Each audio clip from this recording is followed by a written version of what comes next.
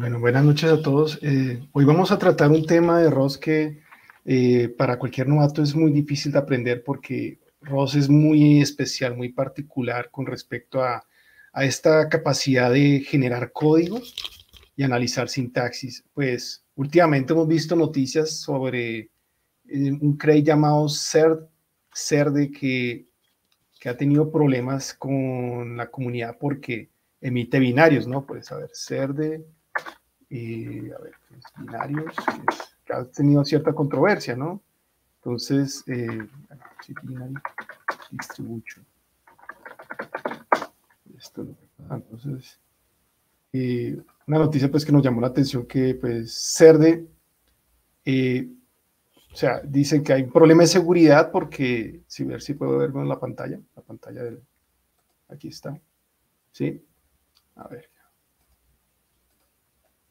O sea, CERDE, que es un crate muy usado en Rust, eh, está distribuyendo eh, de forma precompilada un binario, unos binarios que es para acelerar el procesamiento de las macros. Pues CERDE eh, es uno de los crates más usados en todo el ecosistema ROS, es, bastante, es muy importante en muchos sistemas de, alto desempeño y pues en las distribuciones que pues pongan binarios eh, es peligroso por el tema de la seguridad, ¿no? Entonces están preguntándose por qué es necesario que envíe eh, binarios precompilados en, una, en un crate que solamente se basa en macros, ¿no? Pues hoy vamos a ver por qué porque, a veces toman estas decisiones y es la misma complejidad de las macros. Eh, bueno, primero, el tema de las macros es bueno aprenderlo porque no hay libros de este repositorio, se alcanzan a ver, de Vitol Les aconsejo encarecidamente que busquen este repositorio y busquen este Prog Macro Workshop. Aquí fue donde aprendí casi todo lo que hace de las macros procedimentales no es un tema fácil. Y este tutorial, este tutorial que ustedes pueden clonar y empezar a hacer los ejercicios, ¿sí? Que hablando de los ejercicios, son, son de, eh, de cierto nivel, o sea, ya después de haber ustedes aprendido el, el Roslings, es muy importante que pasen al siguiente nivel, que es entrar al tema eh, en concreto de las macros, porque todos los crates que ustedes van a enfrentar, por ejemplo, Tokio, Axum, eh, incluso Viva, un, un crate de, videojuegos, hacen uso extensivo de estas macros, ¿no? Por ejemplo, este que si alcanzamos a ver acá, se alcanzan a ver este, estos macros que van en derive. Uno pensará que esto derive es como en otro lenguaje de herencia, ¿no? Que se extienden las clases, como en, TypeScript, que uno extiende clases. Y no, no, esto es más complejo de lo que parece porque este derive en realidad lo que hace es procesar una estructura y generar código a partir de esa estructura. Entonces ustedes ven estas cosas así, unos atributos, y uno cuando ven este lenguaje por primera vez, uno dice, ¿y esto cómo funciona? ¿Esto cómo se lee? Y, uno le parece esto como magia, ¿no? Que a veces no ven crates tan complejos que tienen bastantes elementos nuevos, atributos, y uno no sabe qué hacen por debajo, ¿no? Pues hoy vamos a ver ese aspecto, ¿no? Eh, bueno, primero, si alcanzan a ver esta pantalla que dice Roster Friends, ¿sí? Me disculpe. Eh, pues aquí, esta es la única, como la, parte donde pues uno ve por primera vez el, libro oficial de las macros, no han hecho un libro pues más, con, más, más eh, educativo, más didáctico al respecto y pues nos dice nomás que es un crate que alguien asigna como una librería y le pone pues este atributo y, y pues hay distintos tipos de, macros derivadas. O sea, primero es la macro que, que funciona, que es una función, es como la macro tradicional, pero miren esta sintaxis tan extraña. Ingresa un token string, le sale un, eh, token string. Eh, pues ya esto, esto como que el, uno lo ve y no, entiende de qué se trata el token string. Eh, pues resulta ser de que aquí uno está entrando en las entrañas del, del, compilador de Rust el compilador ROS pues tiene unas fases donde primero eh, analiza la sintaxis, genera un token string y ese token string genera un árbol sintáctico, AST. AST. Y ese árbol sintáctico después, en las siguientes fases, es usado para eh, ya analizar los tipos y luego a deducir pues la, las relaciones entre las distintas interfaces y luego hacer el, análisis del borrow checking y todo lo que sigue más. Es bastante complejo el compilador, ¿no? Pero las macros se procesan en una fase muy temprana, en una fase donde pues ya tenemos los símbolos y se procesan los tokens string. Entonces aquí ustedes pueden ver que hay, hay tres tipos. Las macros de funciones, que son las mismas macros que uno conoce, pero eh, ya que analizamos los, eh, la secuencia de símbolos de, del código. esto ya es complicado, pues si uno no sabe compiladores cómo funciona esto, pero ya vamos a ver que pues ya existen unos, unas librerías que permiten analizar esos símbolos y procesarlos. Las macros derivadas, que pues eh, aquí podemos ver, eh, estas son las macros que toman una estructura, o sea, por ejemplo, este struct, lo analizan, analizan qué atributos tiene, qué, qué, campos, qué, qué, métodos, bueno, métodos no, pues atributos y, lo, y a partir de eso pues genera código. Y existe otra macro que es bastante especial también, que es macro, eh, a ver, esta que está acá, macro attribute, que es una de las más poderosas, que esta sirve para capturar funciones, analizar sus, met, sus, su, sus o sea, sus, eh, sus parámetros, y también analiza pues traits y implementaciones, incluso pues otros bloques de código que uno no puede eh, encasillar en, en, un tipo de dato, ¿no? Y estos simplemente toman dos, dos elementos, toman el token stream del, del, código y un token de atributos, subatributos, más, es más complejo de lo que parece, o sea, este es por ejemplo un ejemplo acá. Eh, este es el atributo, ya esto es una, eh, Así la sintaxis de los atributos, que vea que no dice derive, sino dice directamente el nombre del atributo. Y en paréntesis, una lista, pasan los atributos y esto los va a leer la macro. Entonces van a leerse en esta partecita donde dice ítems. Y pues ya esto requiere un código pues, muy elaborado de analizar todo esto, ¿no? Eh, bueno, yo creo que ustedes ya deberían haber tenido una experiencia con otras macros, las macros normales que son las macro rules, que pues es muy bueno aprenderlas desde este libro, por ejemplo, que ustedes pueden ver aquí de Leader Book o los macros, ¿sí? Eh, pues aquí, ya aquí explican todo lo que pueden hacer ustedes con las macros. Eh, a ver si les pongo un ejemplo interesante. Por ejemplo, que puede hacer estas macros que pueden autoinvocarse, ¿no? Tienen bastantes entradas y eh, esta es como la primera versión de una macro que ya es más algorítmica, ¿no? Por ejemplo, eh, estas macros que se invocan a otras. Entonces, creo que esta, eh, a ver si es, eh, esta es la que se invoca a sí misma. Bueno, por acá hay una que es bastante interesante.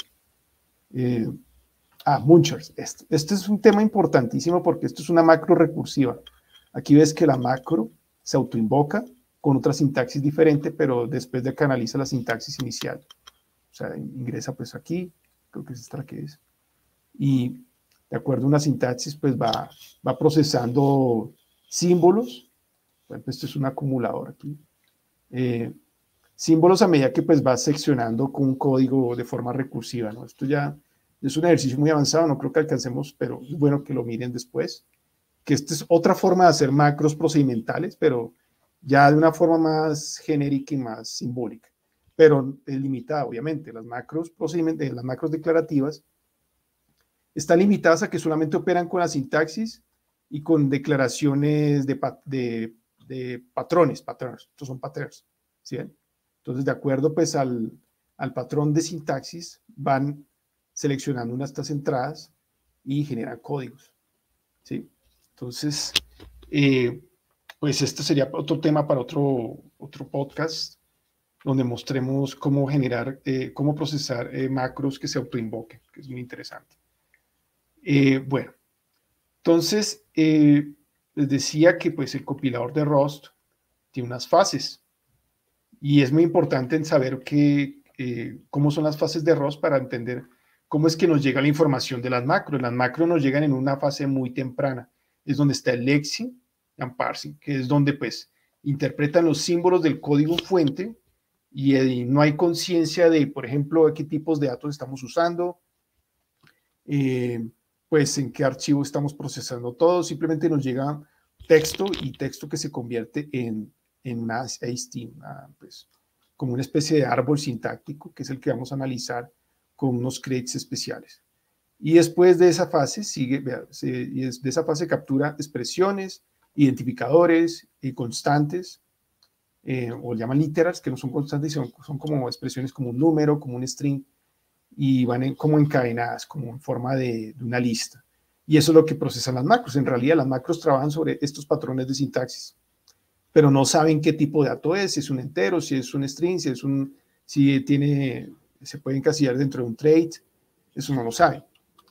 Pero en esta fase es donde nosotros podemos hacer transformación de código. Ross ha, ha delimitado que las macros solamente operen de esta forma, pues para evitar de que el código sea recurrente, que haga varias fases, varias vueltas sobre que cuando procese un nuevo código tenga que analizarlo otra vez y eso pues puede incluso desbordar la memoria, ¿no? Entonces, los que han desarrollado este compilador han tratado como de simplificar mucho las cosas con respecto a otros lenguajes que ya son muy poderosos, por ejemplo, Haskell tiene eh, high kindred types, o, tipos de alto nivel, que pues son como los, las plantillas de C++, pero más avanzadas y son más poderosas de lo que puede hacer ROTS en ese aspecto de analizar tipos genéricos, pero no, eh, al ser funcional, pues eh, algunas cosas no, no se pueden trabajar de forma más extensa, ¿no? O sea, el tema de la sintaxis es muy interesante. Y ya el tema de los tipos, por ejemplo, el trade solving, el type checking, que verifica que los tipos de datos sí coincidan con las operaciones, esto lo hacen en las siguientes fases, que eso llama la fase semántica, ¿no? Entonces, yo estaba haciendo un pequeño diagrama. Bueno, aquí tienen, si pueden ver aquí, eh, pues aquí los datos de, contacto. En este repositorio DataApture vamos a subir el taller de hoy, ¿les parece? Entonces, pues primero lo vamos a copiar aquí en el chat. A ver si lo vamos a copiar. Y ahí está pues el Telegram, pues, donde pues estoy participando. A ver si vamos a pegarlo acá. El chat comentarios.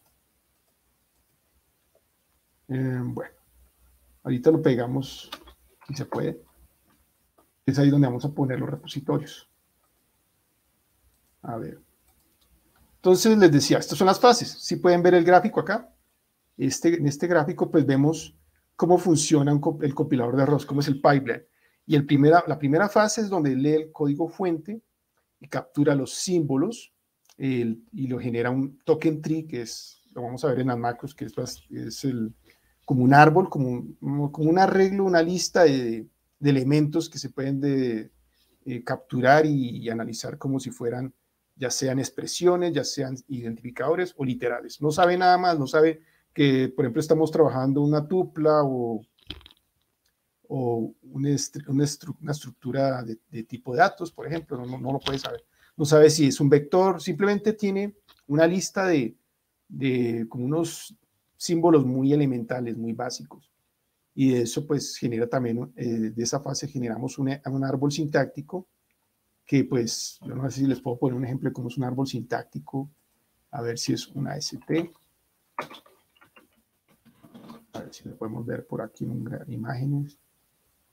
Es algo así, ¿no? Pero esto es una, una ST, a ver si lo podemos ver. Un árbol sintáctico. ¿Sí pueden ver esto?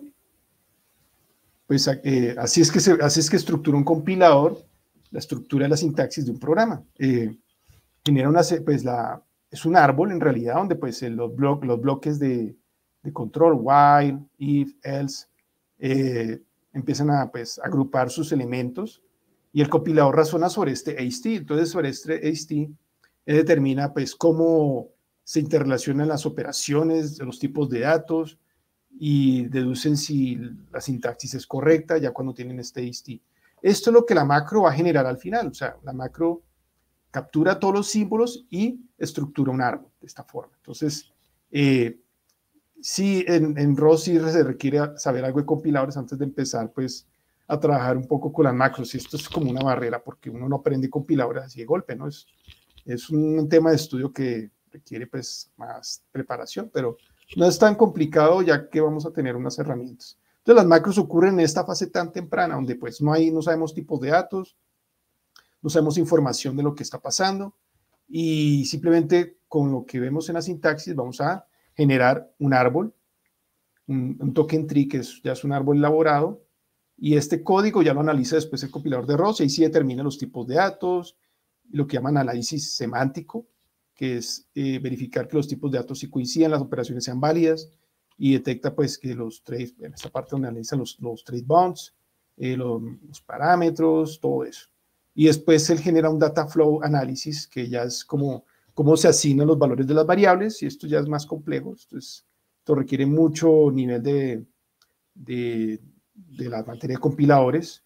Y aquí es donde hace el borrow checking, que, hay que han decidido eh, involucrar más esfuerzos de desarrollo en esta parte, porque aquí es donde se analiza la seguridad del código. ¿sí?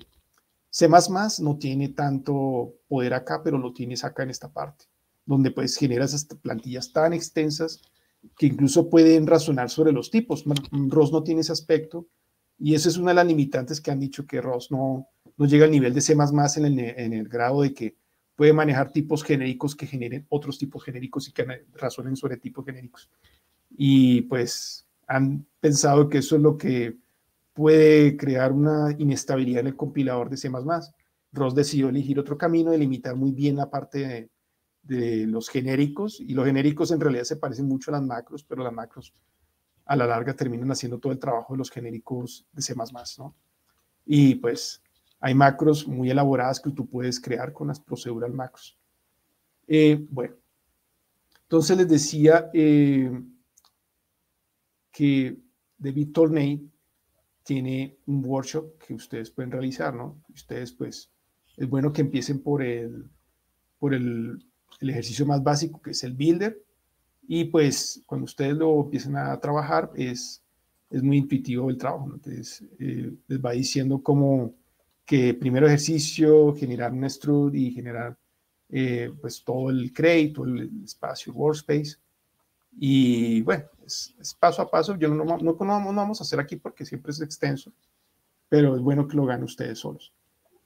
Eh, estos crates, digo, esta, estos workshops nos enseñan a hacer uso de, un, de una librería muy poderosa que ha desarrollado el señor David Torney que se llama Sint.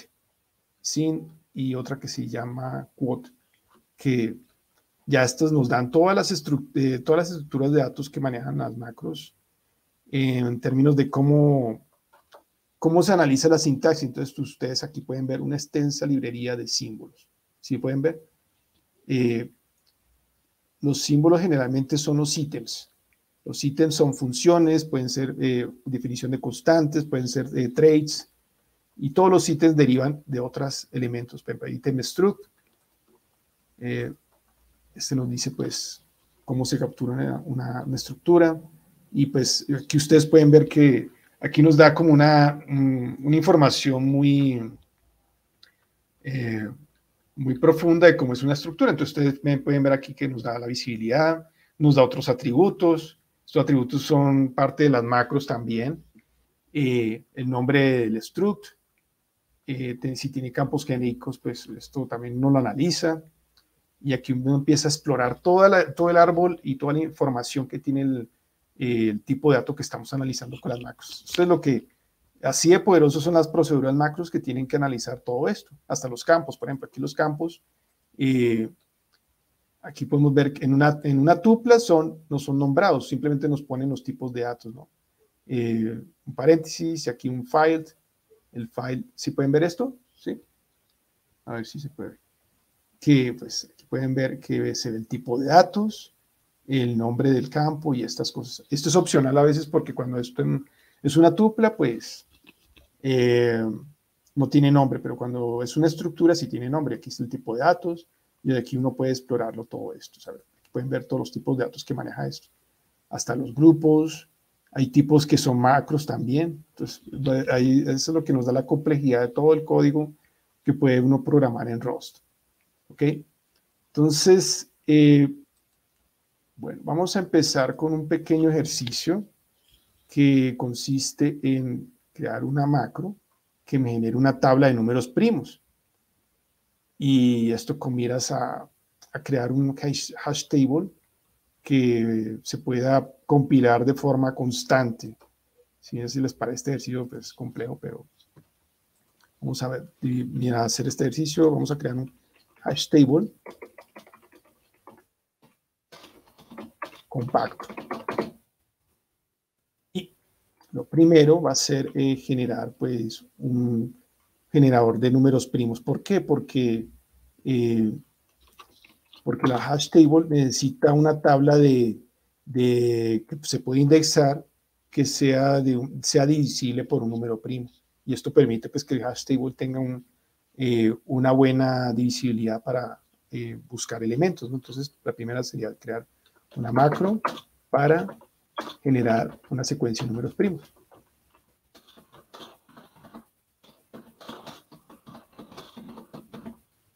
Y la segunda tarea que vamos a hacer hoy va a ser una macro para generar un hash table constante. O sea que con esto uno puede, por ejemplo, crear una tabla de símbolos que ya esté lista en tiempo de compilación y no tenga que inicializarse, o sea, que ya venga cuando se compile el código. Pues vamos a mirar si nos alcanza el tiempo para hacer los dos ejercicios y si nos alcanza también el tiempo vamos a crear eh, un, una versión alternativa de CERDE, ¿no? CERDE criollo, así. Y pues se llama llamarle como sería cereal, cereal, que va a analizar una estructura y pues va a generar como un código de wrapper que permita analizar la sintaxis. Entonces, eh, bueno, vamos a cambiar la pantalla y vamos a generar estos crates. A ver si puedo dejar de compartir acá. Y vamos a compartir,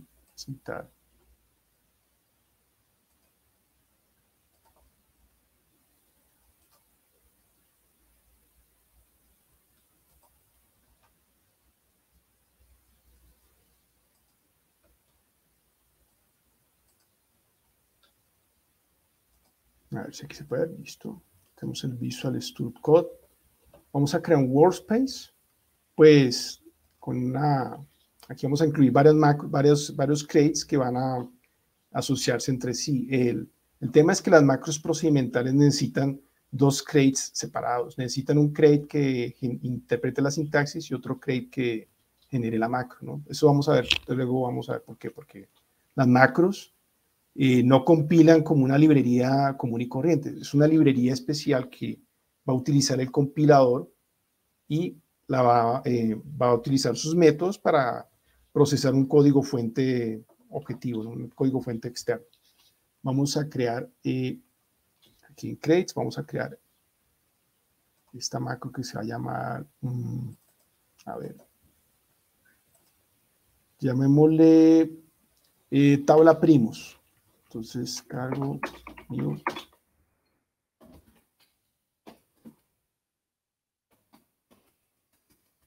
Así, prime start table.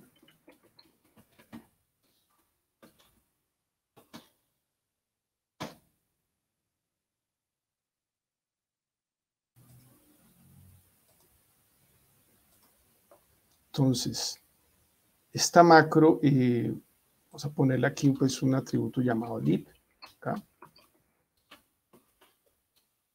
Y aquí en esta sección le vamos a poner una, eh, variable que llama, que indique que es una macro procedimental, proc macro.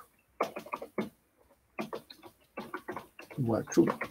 Esto, esto nos va a indicar que esta, este crate va a ser, va, va, va, a generar como un código que pueda usarse como macros. Y a ver si vamos a poner acá. Entonces, aquí esta función va a sobrar todo esto. ¿Se alcanza a ver? Bueno. Entonces vamos a crear, vamos a crear una función que capture un, entero, un entero grande, por ejemplo, un tamaño que queremos que sea, por ejemplo, el tamaño de, el máximo de una constante o algo así, y que nos genere toda una tabla de secuencia de números primos. A ver si les pongo un ejemplo. Eh, ¿Cómo sería eso?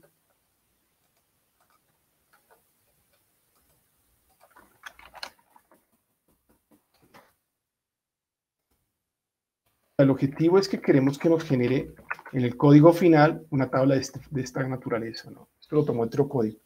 Pues que uno no tenga que generar estos, primos secuencialmente, sino que eh, los tenga ya una tabla constante y, uno puede seleccionar el siguiente primo. Por ejemplo, si estamos creando una hash table que tenga 30 eh, elementos, entonces el tamaño de esa, del, del, arreglo de las, de las hash, de la tabla hash eh, sea mínimo 13, ¿no? Pero, por ejemplo, si tenemos 100 elementos, pues el tamaño de la tabla no va a ser tan poquito porque va a tener muchas colisiones, 13 ni, ni 24, sino va a ser ya mm, por lo menos 97, ¿no? Tenga 97 elementos, entonces ya tenemos, si matemos más, más de 100 elementos, esta tabla table de 97 nos puede servir, ¿no?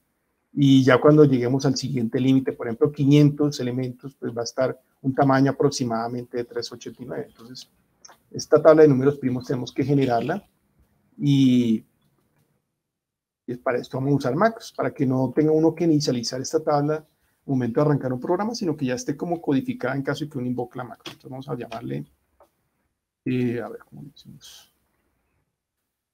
Tenemos que incluir unas librerías es clave. Estas librerías vienen siendo como las, las necesarias para procesar la sintaxis. Eh, a ver si la podemos tener aquí.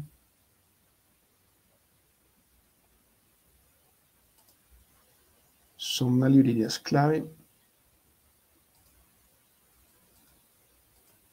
Ya. Entonces,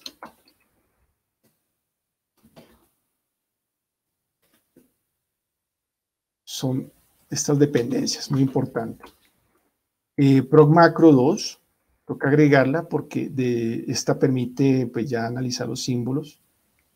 Eh, quote, que esta permite generar el código y una que es muy clave, que la que acabamos de ver hace poco, que se llama eh, Sint. Sint pues tiene muchos elementos para procesar eh, árboles sintácticos, y analizar como una forma más semántica pues, la estructura del código, ¿no? Aquí está. A ver si tenemos esto. Ok. Listo.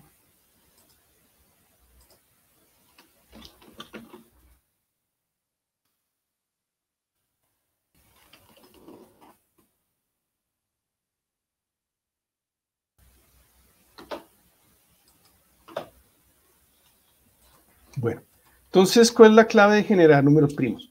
Pues la idea es que eh, tenemos que, pues si nos dan un número, por ejemplo, 100, tenemos que recorrer toda una secuencia desde el número 3 hasta de 5, 6, hasta que demos con el, número primo más cercano a 100, ya después de que sea el siguiente, después de 100, en eh, la tabla que tenemos de ejemplo, pues, a ver si la tenemos aquí.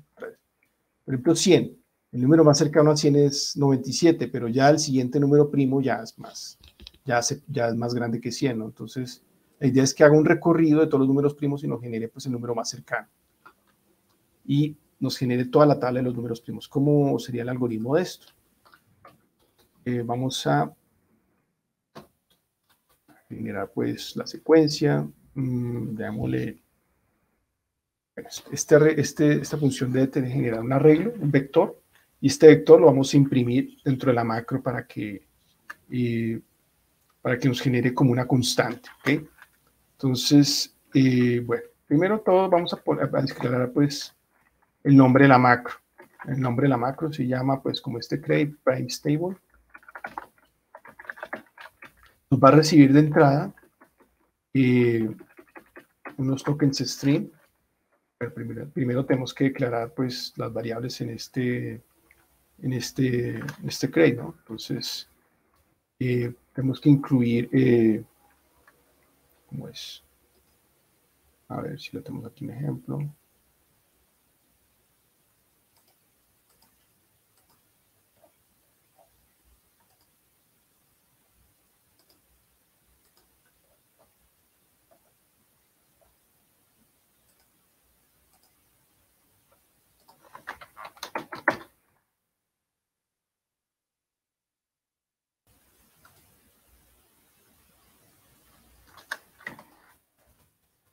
Tenemos que incluir token stream, este, este elemento, y esto es lo que nos va a ingresar aquí, pues, input token stream. y nos va a botar otro token stream. Tenemos que también eh, declarar otro, otro elemento, pues que este es el que va a procesar la sintaxis. Entonces, use proc macro 2 y este token string vamos a tener que llamarlo diferente. ¿Por qué? Porque este token string es el que vamos a convertir del original a esto. Entonces, token string as Y el tercer elemento, pues ya vamos a ver que puede ser como, ah, pues eh, ahorita miramos, como el literal. Entonces, use Sí.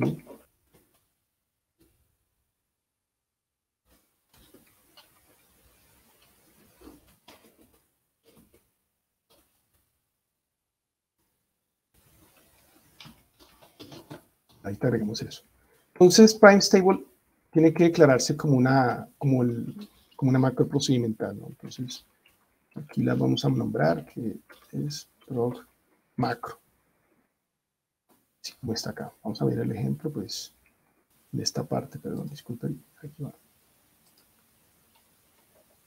Sí, o sea, aquí ustedes pueden ver cómo es que son las macros, así, pues, con esta sintaxis. Pro macro, el, la entrada, pues, de los símbolos y la salida de los símbolos, ¿no? Entonces, esto cuando ponen están es porque, pues, esto es, lo exporta, pero en nuestro caso no tenemos que hacer. A ver si vamos a ponerlo acá pro macro y le endiviesan pues un token stream, que este token stream pues simplemente va a ser como el parámetro que esto va a ser eh, un número, ¿sí? una variable. Entonces va a ser como un entero, pues como una cantidad, un entero literal, una constante. Y esta constante nos va a decir eh, hasta dónde queremos que genere la tabla, ¿no? Entonces, eh, esta función va a invocar pues aquí el algoritmo de los números primos. Eh, bueno, ahora lo que sigue es que tenemos que eh, crear un vector y ese vector va a empezar a agregar números que tienen que ser primos y no pueden ser divisibles por sus anteriores elementos. Entonces vamos a crear aquí una función, una función que no va, a ser visible. Función, generar primos. Y se puede ver el, el código acá primos. Generate primes. Que captura una variable que sea el, el tope. El tope digamos que es un, una variable entera pues de este, este tipo de dato.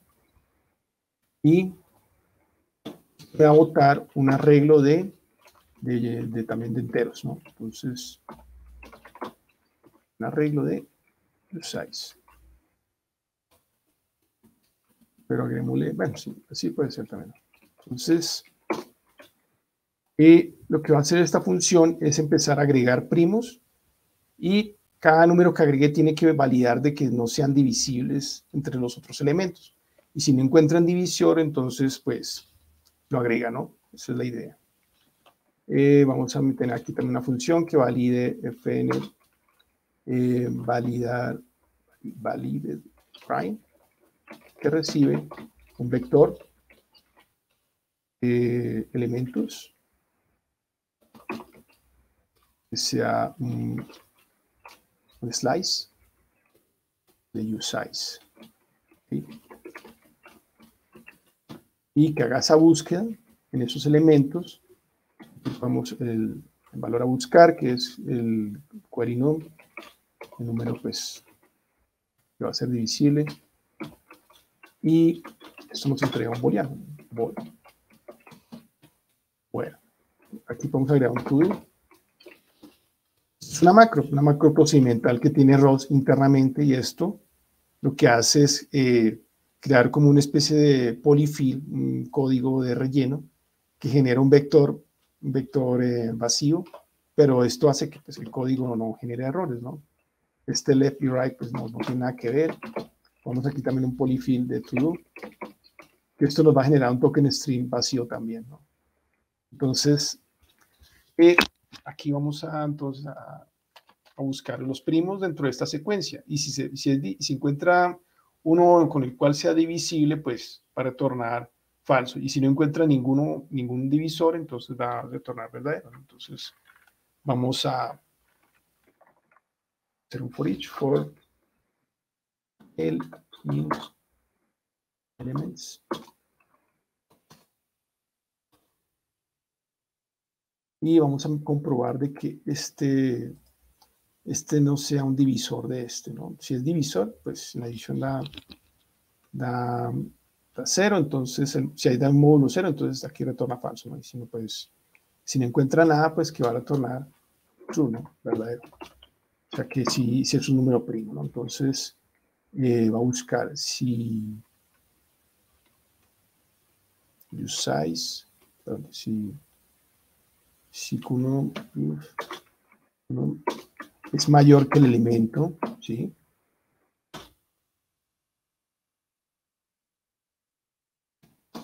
Y si es divisible, o sea, si es, eh, es el reminder igual, no división entre el elemento. Si este reminder es, es igual a cero, pues retorna falso. Entonces,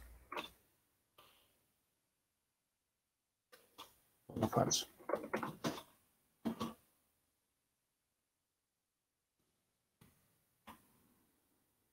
Función válida, pues, si es un número primo. Hace, pues, buscan todos los elementos y valida, pues, si encuentra un primo. ¿no? también podemos hacerlo con un iterator.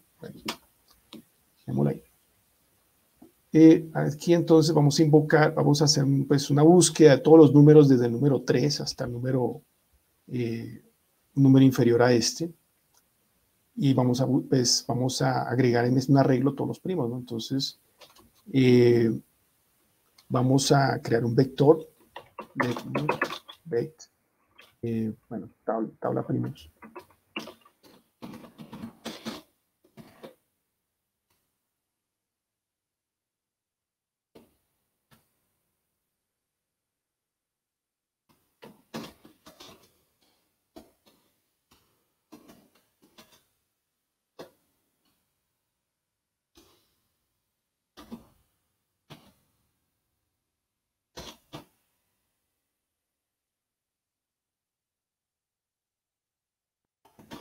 Final, pues vamos a retornar este vector. Ya podemos quitar este nudo, listo. Y aquí el algoritmo lo que va a hacer es recorrer todos los elementos desde 3 hasta, hasta el tope, hasta antes del peso, hasta el tope, y ya pues cuando sea más grande, pues ahí ya, ya dejamos de agregar elementos. Entonces, for, mm, for num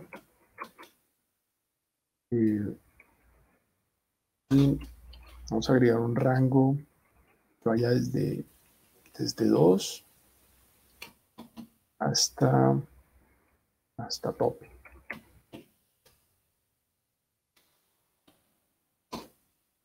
Y aquí vamos a empezar a agregar los números si son válidos. ¿ok? Y bueno, ah, pero desde 3. Vamos a agregar un primer número acá, pues que sea Esto es una macro procedimental también, este B que ven acá. Vamos a agregar pues aquí dos. Seis, perdón. Ya tiene un elemento. Y desde tres empezará a buscar en todo, este, en todo el, arreglo ya creado si es un número divisible, ¿no? Y si pues es, no encuentra divisor, entonces lo agregamos. Entonces vamos a verificar que el, número que estamos procesando esté dentro de la secuencia, ¿no? Entonces, a ver. let valid igual a valid prime. Pasar pues eh, un slice de tabla primos.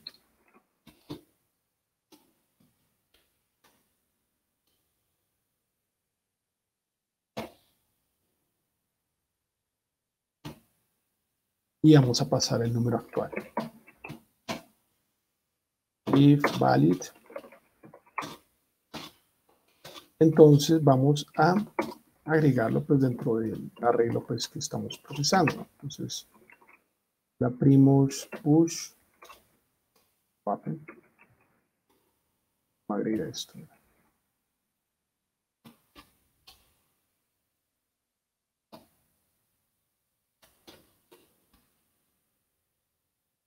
Que nos debe generar el número primo los números primos, ¿no? Entonces, esta rutina, pues pueden darse cuenta que ya cuando es un número grande, pues bastante costosa porque es, eh, es de orden cuadrático, o sea, eh, cada vez que vamos a buscar un primo en esta, pues vamos a generar primos, pues bastante pesada. Entonces, esta tabla ojalá pues lo generamos en tiempo de compilación y esto nos permitirá pues ahorrar mucho trabajo. ¿no? Entonces, aquí vamos a tener una tabla de primos y la idea de la macro procedimental es que nos genere como una, un arreglo constante donde pues, a ver si podemos agregar aquí un comentario.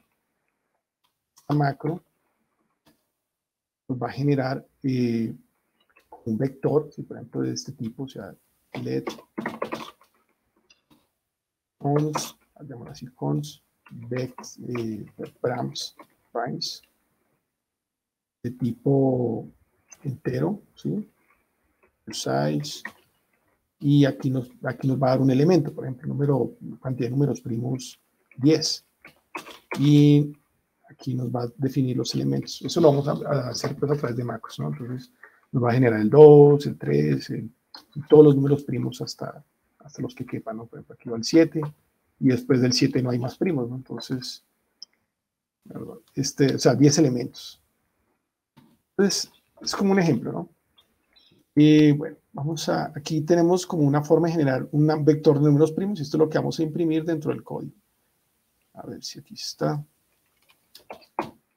Bueno, ¿cómo analizamos la entrada? Esto es una gran pregunta. Entonces, eh, aquí es donde entra en juego el create del, de, sintaxis, se llama sign, que vamos a, ver si los les puedo mostrar la página web de, de la ayuda momentico. Vamos a ver.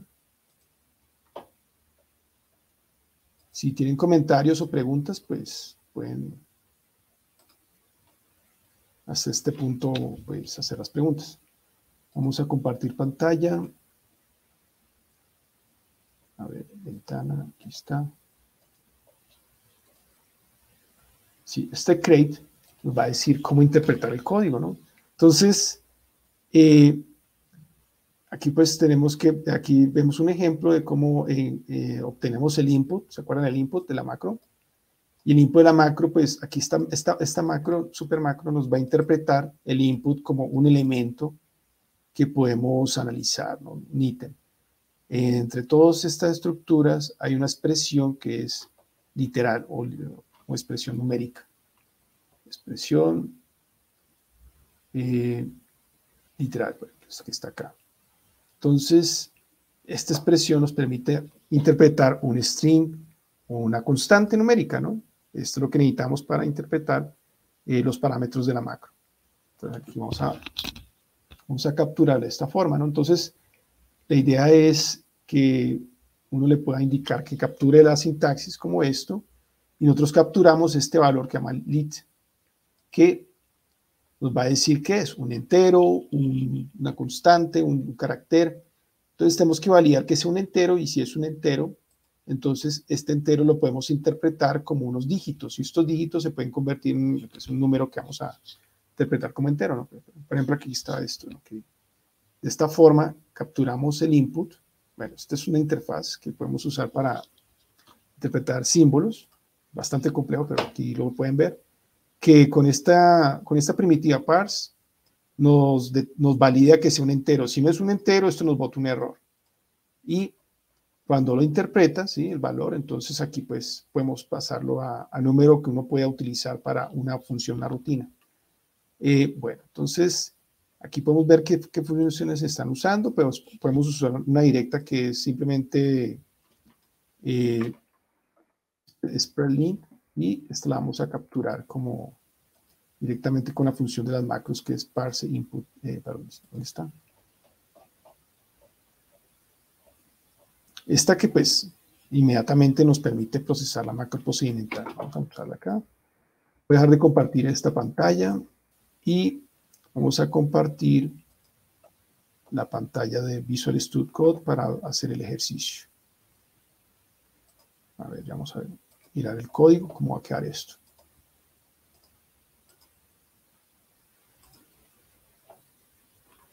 Bueno, aquí vamos a capturar de este token stream, vamos a capturar pues la sintaxis. Vamos a usar el create scene, use scene, y buscar esta sintaxis, ¿cómo era?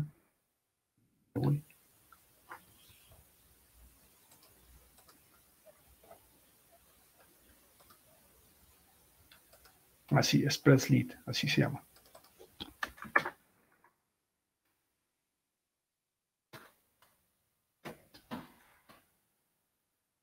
Entonces, a ver si... Bueno, vamos a hacer una pequeña compilación para ver si todo está en orden.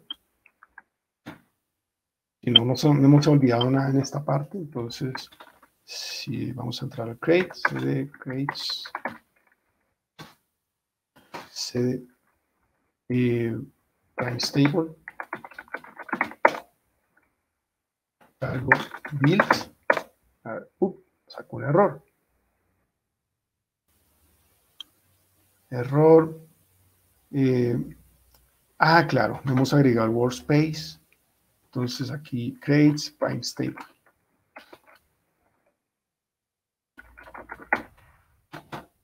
Bien, es parte workspace. Listo, ahora sí. Bien. Compilando.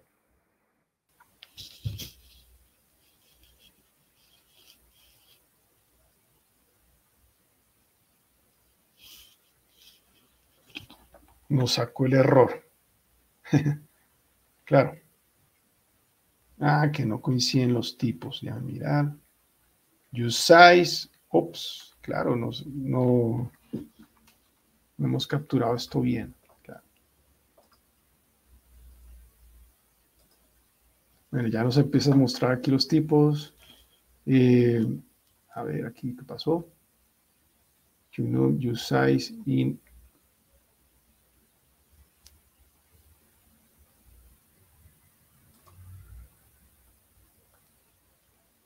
extraño.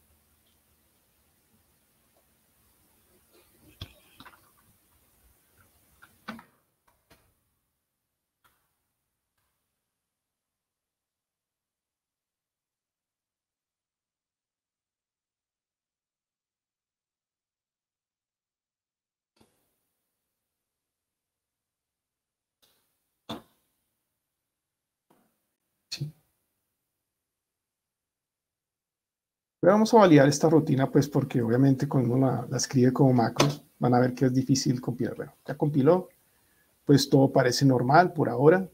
Hay unos warnings. Eh, pero aquí pues porque no se está usando esto, entonces eh, nos dice que pues esta variable no está, está siendo procesada, pero igual vamos a hacer eso todavía.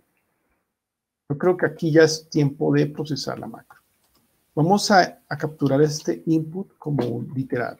Entonces, let ignore igual a parse, tenemos que incluir esta, esta macro que está por acá.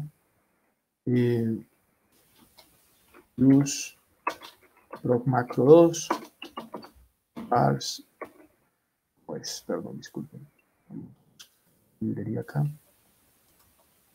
parse input stream a ver Ah, sí, ya vi. Sí, de la macro sí, esta macro que creo pues David Online bastante útil para estas funcionalidades, para input, para macro input, listo. A ver.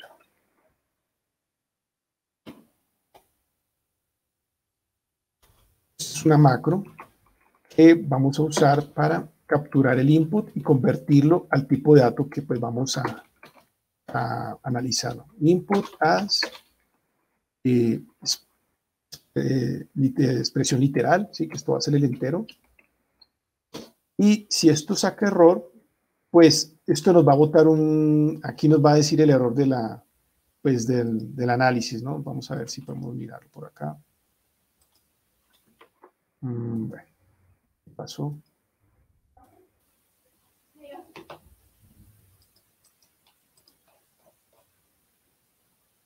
Ah, es que lo escribí mal. Así está mejor. Vamos a mirar. Así.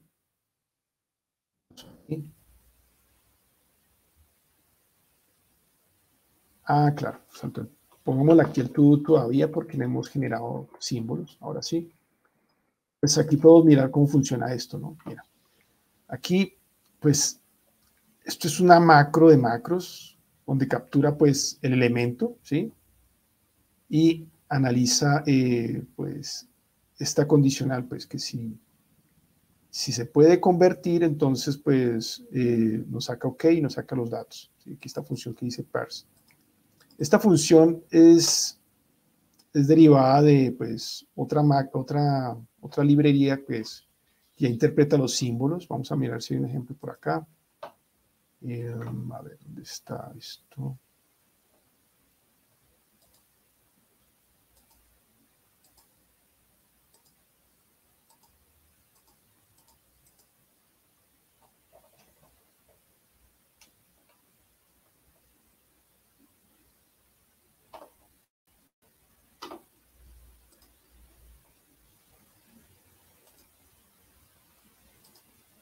Bueno, en fin, vamos a mirarlo. Eh, bueno, eh, en todo caso, esta, este parser, que, vamos a, que uno lo puede encontrar pues, en las librerías de, de, sintaxis, lo que hace es, es pues, comparar los tipos y pues ya analizar, pues ya que sea parte de la, de la información de la sintaxis y la convierte al tipo de dato que queremos, ¿no? Entonces, si no, si no coincide, pues esto nos va a arrojar el error y él genera pues el error que, que la sintaxis no es válida y todo, pues ese código de error lo vamos a mirar pues ahorita en, el ejemplo que vamos a compilar. Entonces nos tiene que entregar este literal que sea un número, ¿sí? Tenemos que validar que esto sea un número, ¿no? A ver si es, vamos a hacer un match, ¿no? Entonces, if match y num y si lead num es eh, a ver si podemos mirar, es un, es un entero, es un valor entero, entonces pues lo procesamos. Y si no es un valor entero, entonces eh, nos toca generar un error, ¿no? Entonces, LeadNum tiene un atributo llamado eh, lead, que es lo que vamos a analizar. Y si el es es un enumerador, es un entero, y aquí vamos, ponemos el número, así, número. Entonces, vamos a, generar la tabla, ¿sí? Y si no es un número, entonces vamos a tener que generar un error. Y esto es muy importante. Aquí, pues, los errores tenemos que convertirlos a, a token streams y tenemos que indicar pues el código error. Entonces, eh, a ver si tengo un ejemplo de cómo se genera un error acá, estoy buscándolo.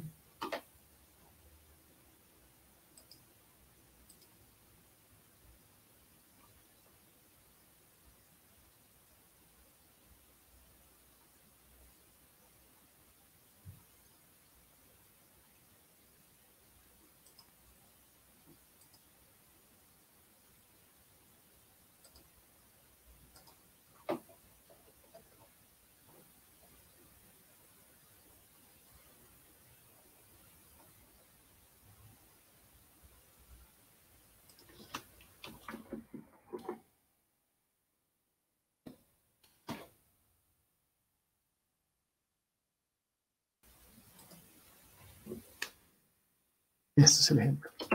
Entonces, generamos un error donde pues ya aquí ponemos el elemento y este span es como el, lugar del código fuente, o sea, nos dice la línea y la columna de donde está ubicado el símbolo, donde está generando el error. Entonces, esto permite generar los mensajes de error. Entonces, aquí hicimos que eh, not a number.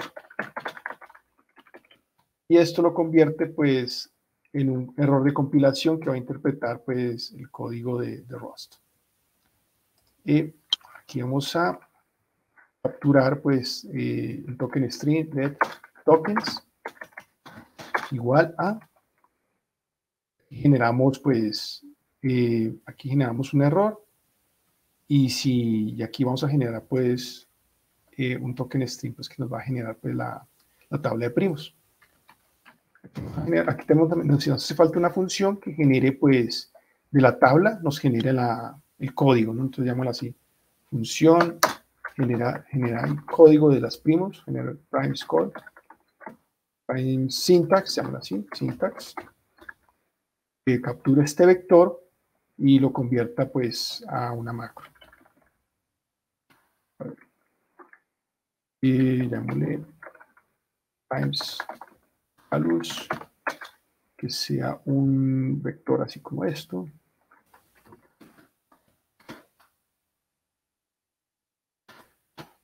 Y nos bota un token stream.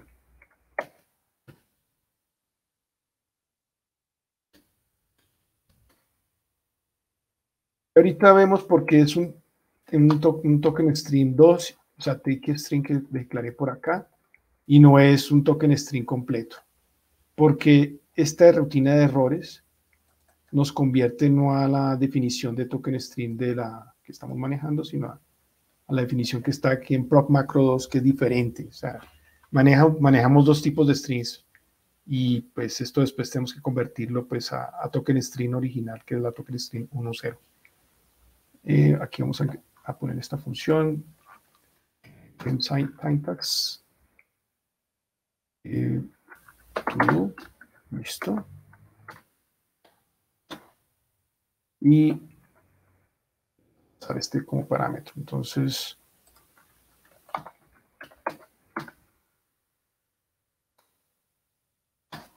el syntax y vamos a pasarle y hacia el literal que está acá,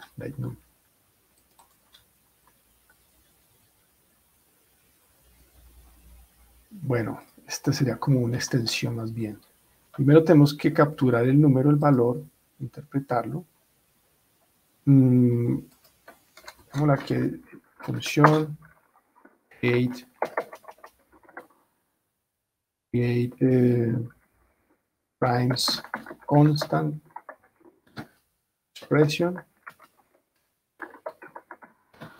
Aquí vamos a pasarle literal, este símbolo, y este símbolo lo vamos a interpretar, vamos a averiguar qué tipo de dato es y vamos a luego con ese generar la tabla de números primos y luego vamos a generar pues el código que es correspondiente. Entonces, por ahora vamos a decir que aquí esto es un lib ¿no?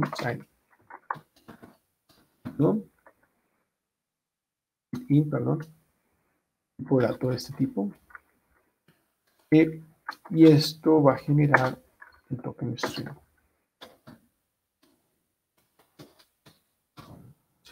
Esto va a invocar a, esta función. Pues aquí interpretamos el ignore y luego pues generamos pues, la sintaxis. Vamos a poner aquí un todo para que pues por ahora nos compile y vamos a pasarle este número acá. Entonces, eh, create, esto está muy largo, primes constant expression, digamos así más bien. Es como la función de entrada de todo esto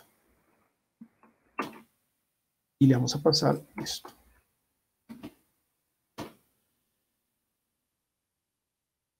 Paso aquí porque me está arrojando error.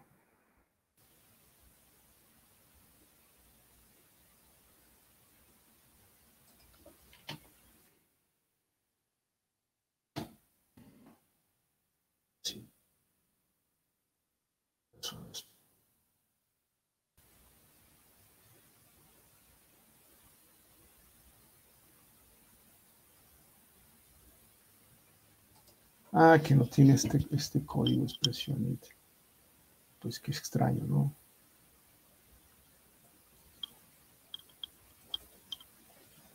¿Será que esto puede interpretarse? Esta, vamos a mirar aquí esta interfaz.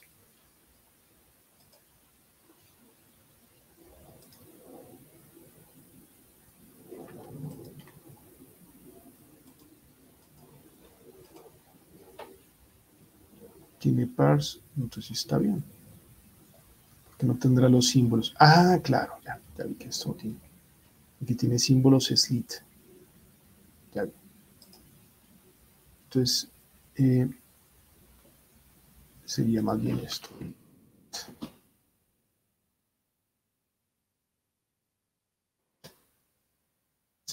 Ah, listo. Nota nombre. Ya estamos bien. Entonces, y, ok, ya. Tenemos los tokens. Los tokens, este es un token stream 2. Aquí dice token stream, pero en realidad es un, un stream y este es el que vamos a entregar. Porque, ¿qué pasa? Si podemos, si retornamos este directamente, nos va a decir que es incompatible con este. Entonces, hay que decirle into, into, para convertirlo, porque hay una función que convierte el token string 2 al token string 1. Entonces, esto es al principio confuso, ¿no? Que pues, estamos manejando dos definiciones de token string, pero hay que saber de que este es del create proc macro 1.0 y este otro token string es del proc macro 2.0.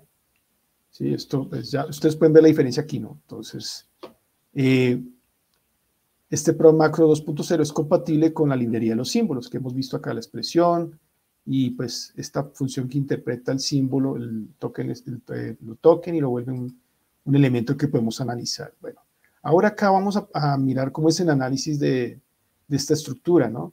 Vamos a validar que sea un entero y cómo le capturamos como valor. Eso es lo primero. Entonces, valor del inum como es. Valor, value, igual a inum. a capturar, interprete los símbolos en base 10, ¿sí? Pues en base 10. Y esto nos genera un, bueno, ahora aquí, size.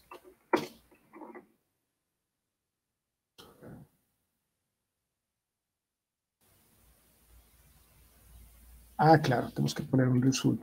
Eso es más fácil ponerlo de esta forma. Sí, sí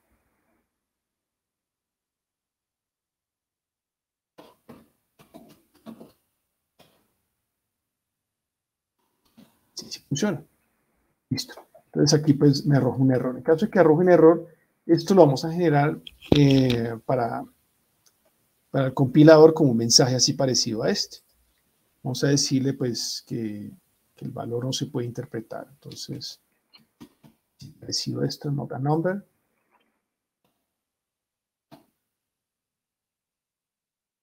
Si el valor es, vamos a poner match aquí, match, ¿vale?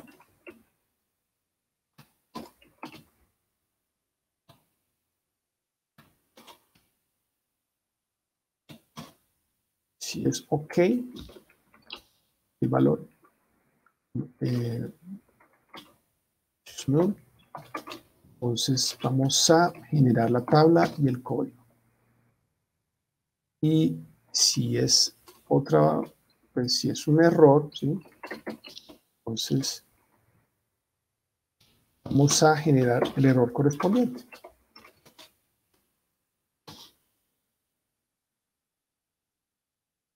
Entonces aquí vamos a agregar eh, capturamos pues el, la, como la, ubicación y el número pues hay que capturar los tokens.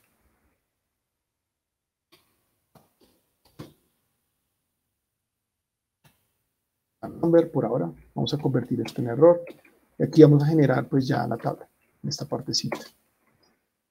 Eh, bueno, ya capturamos el número, lo primero vamos a, generar, a usar esta función y esta función va a capturar el vector. Primero es capturar el vector, que es con este. Eh, let vec primes igual a generate primes.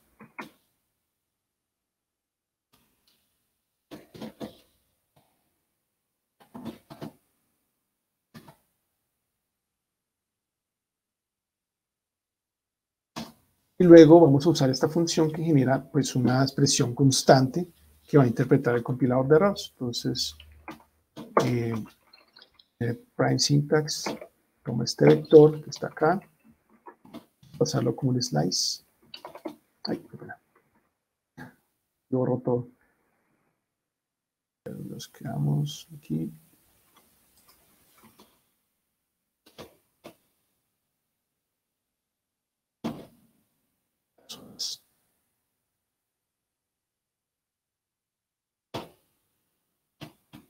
Listo.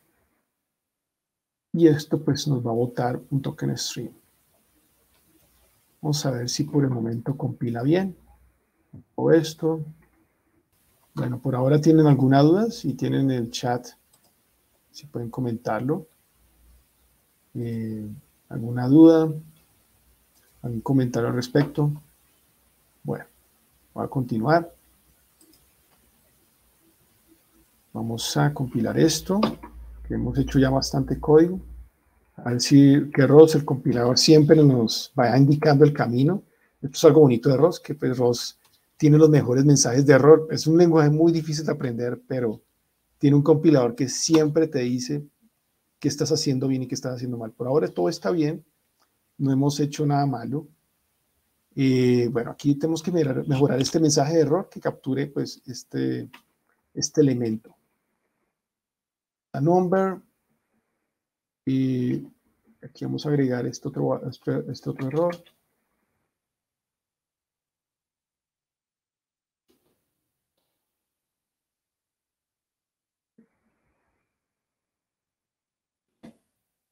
String, listo.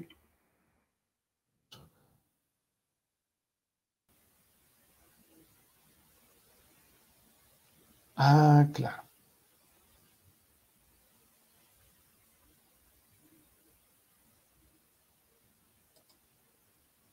Entonces,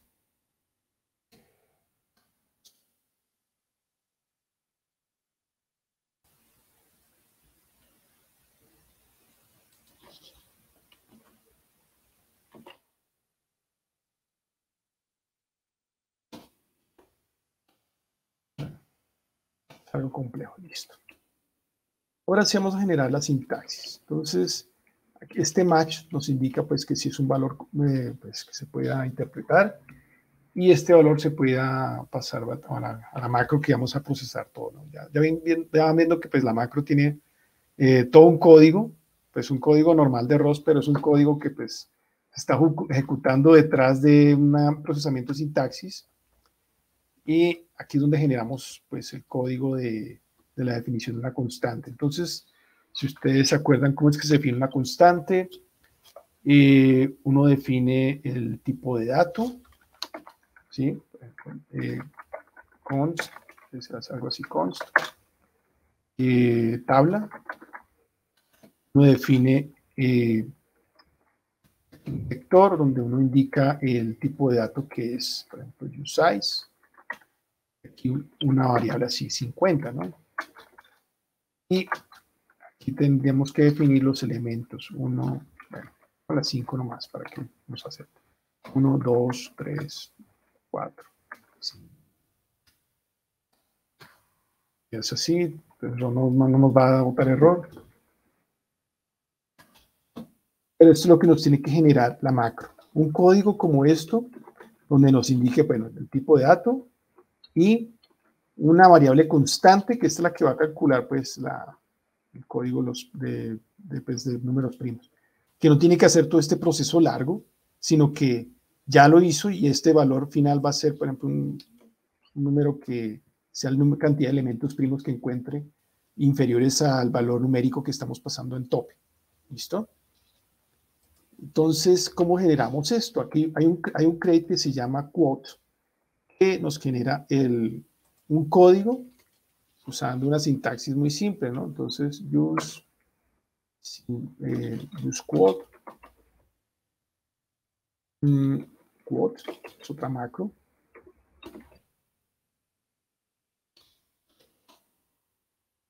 Esto simplemente lo vamos a utilizar en esta parte. Ah, vamos a generar algo así, tabla primos. Ah, claro, tenemos que generar un, un nombre. Eso se nos olvidó, un nombre de la tabla. Mm, o no, saben que no, de pronto no, sí, no hace falta, pero sí. No, yo creo que sí. Tenemos que ponerle el nombre a la tabla y obviamente pues el, número del tope. Vamos a tener que capturar, son dos variables. Esto pues ya nos indica pues que eh, tenemos que capturar ya más de un elemento, no solamente un entero, sino tenemos que capturar eh, pues una tupla. Pero por ahora vamos a dejarlo como tabla genérico, llamémosla así tabla primos. Pues tiene que generar una sintaxis como esto. Table prims, table prims y este el valor lo va a calcular la macro. Ya, pues ya, el problema de la cómo nombrar las constantes, vamos a abordar ya cuando mejoramos la macro, la hagamos una prueba pues con un código de ejemplo. Entonces, esto es lo que nos tiene que generar, ¿ok? ¿Esto cómo lo haríamos? Entonces, tenemos que eh, generar un vector de unos números y tenemos que tener esta variable del tamaño de la tabla. Este vector lo vamos a generar eh, como símbolos, ¿no? Entonces tenemos que generar una tabla de símbolos. Vamos a ver si podemos lograrlo acá. Mm, tenemos que convertir los símbolos, digo, los números a símbolos, a, literales, y tenemos que, pues, procesarlos. Entonces, este va a ser el reto ahorita. Vamos a generar como un vector.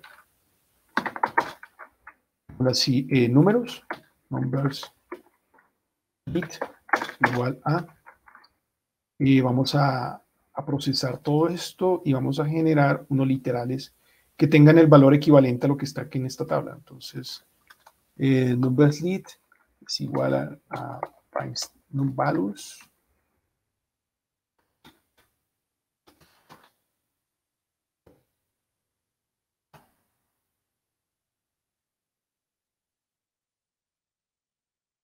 Y vamos a mapear esto. esta función nos va a capturar un valor, un número. Un número. Y vamos a entregar una expresión constante, una expresión parecida a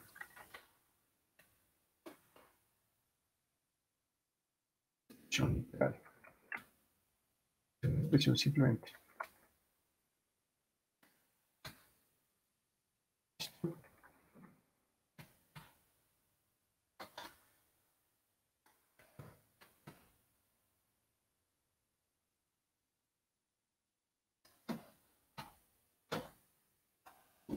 Entonces aquí vamos a generar el valor numérico, aquí está.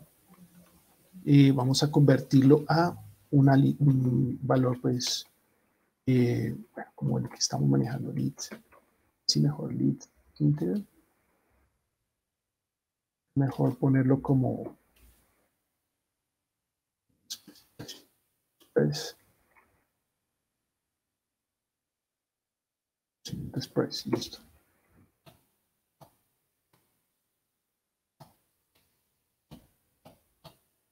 Entonces, vamos a, generarlo eh, de esta forma. Eh,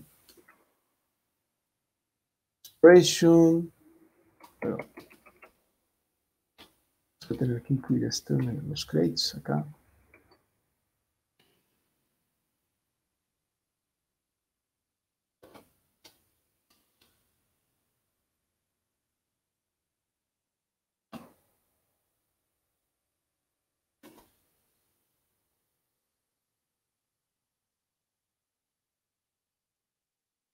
Expression lead. Tenemos que generar la expresión acá.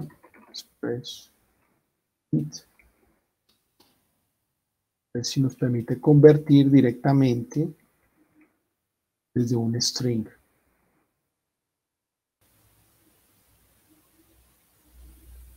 A ver, desde un string.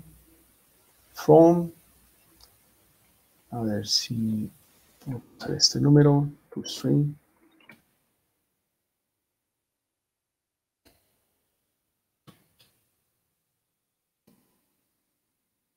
No lo convierte. A ver, vamos a mirar métodos para convertir esto a string, expression, expression int. format from, expresión.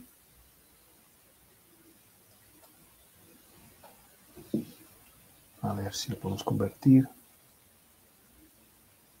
From. O no, simplemente vamos a convertir esto en tokens. Tokens directamente es más fácil. Token string se puede extraer de un, de un, valor. Listo, entonces vamos a generar más, más fácil, nos queda así, más rápido por el momento. Pues hay muchas opciones de conversión, esto es complicado, pero con en string es más fácil manejarlo todo. Van a darse cuenta de eso. Y no tenemos que usar pues una construcción tan compleja. Pues ya sería mirar los métodos de, de la ayuda, pero por ahora el token string puede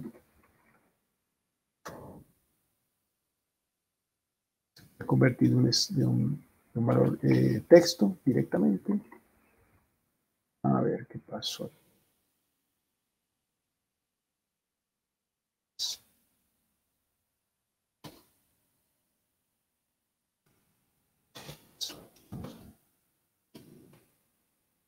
Debe ser como entonces. Convertimos este valor. A ver cómo hacemos esto. ¿Qué métodos tiene? Token stream, new. A ver cómo convertimos esto. From stream. Ah, sí tiene. Si tiene from stream. Ah, claro, entonces era así token stream from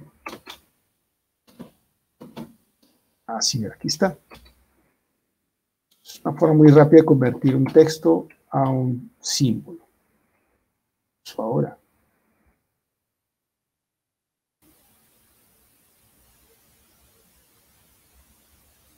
Ah, claro. Entonces, eh, hagámosle un, un wrap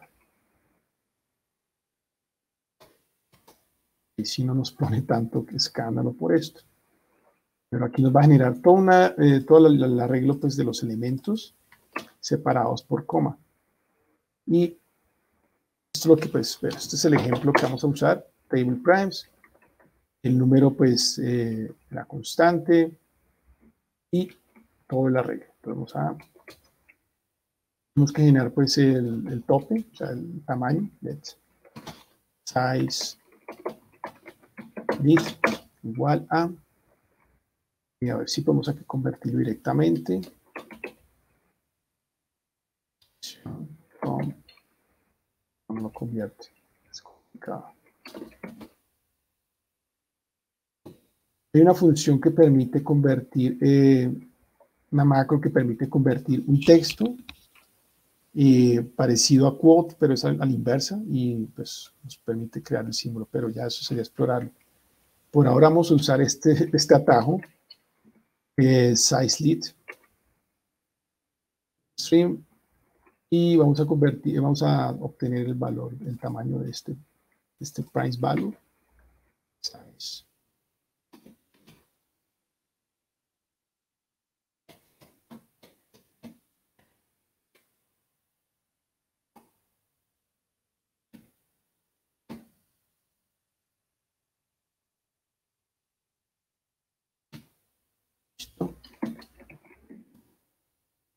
Aquí tenemos, vamos a nombrarlos como, como constante, entonces vamos a tener que, pues, llamarlos, vamos así, que todos los que son constantes, digo, constantes de sintaxis, vamos a ponerle lit, size lit y numbers lit, ¿listo?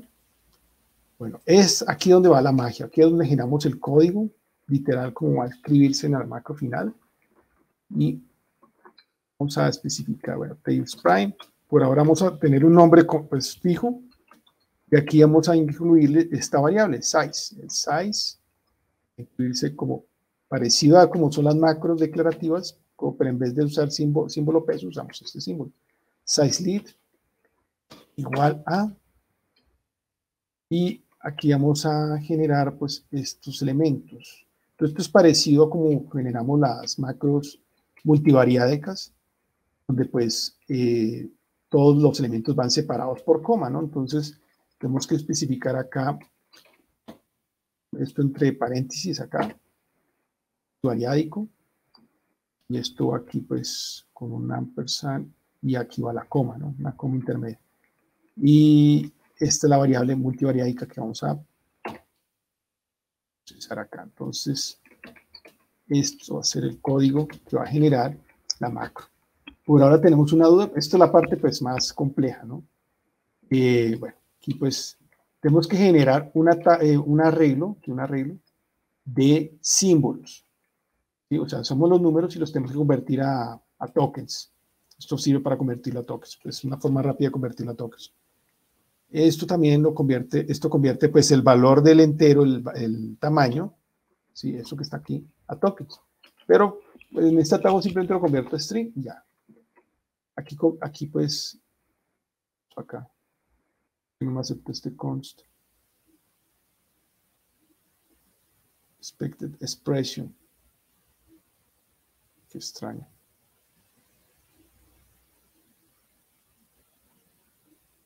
Ah, todo, no, es que aquí es quote. Quote, exacto. Ahora sí, perdón, el todo está mal. El quote es que genera, es el generador de código en sí. Esto pues hace muchas cosas, tiene aquí, crea muchos elementos parecidos a estos tokens que estamos manejando, pero eh, ya aquí lo podemos trabajar fácilmente, simplemente esto captura las variables que son de tipo sintaxis.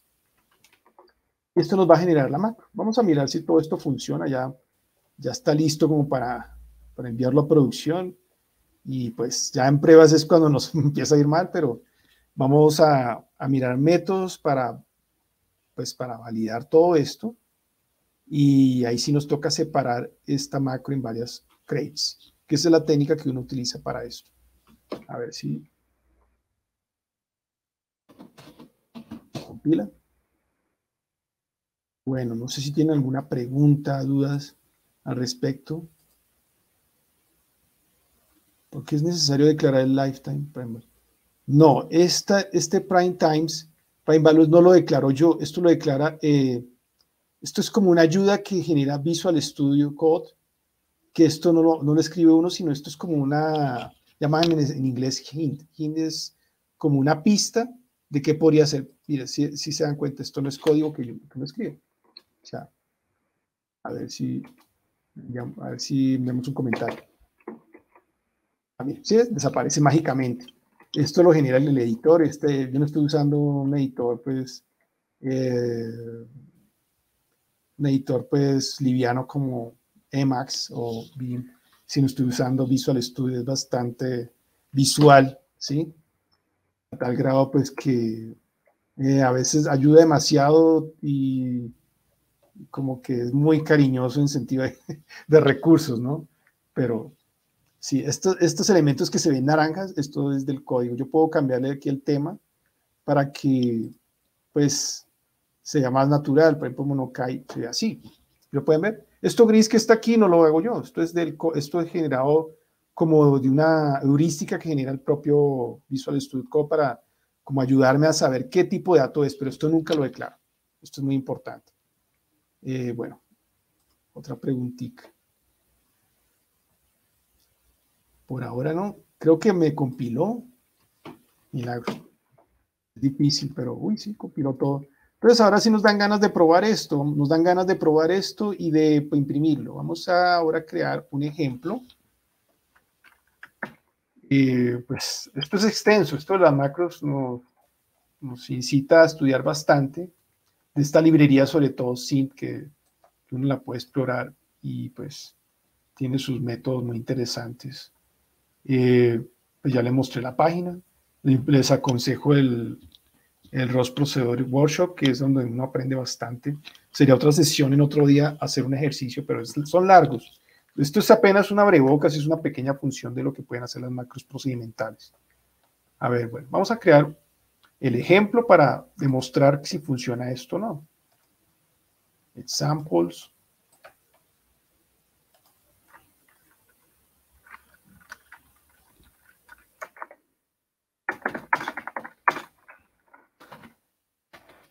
Examples. Ranks test, que Listo. Bueno. Kinet samples, primes test. Esto aquí tiene el main. Entonces aquí es donde vamos a incorporar la macro que acabamos de crear. Vamos a tener que, tener que agregar esto al workspace. Samples. Primes test. Entonces, eh, a ver, Vamos a agregar dependencias. Y aquí pues tenemos que pues, indicarle la ruta relativa a esto. Eh, llamémosle prime stable igual a, aquí vamos a agregarle como un path. Y pues aquí tenemos que poner la ruta relativa. It's prime stable. Aquí la encontró. Es como este, este ejemplo acá.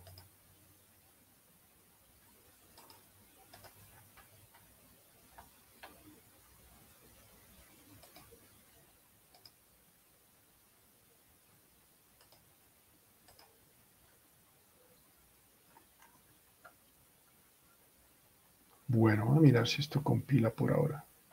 Imprimimos esta tabla.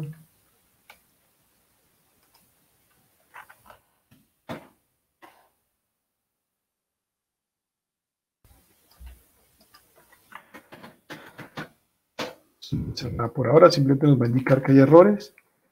Claro, no está agregado el, ejemplo, parece que no lo escribí bien.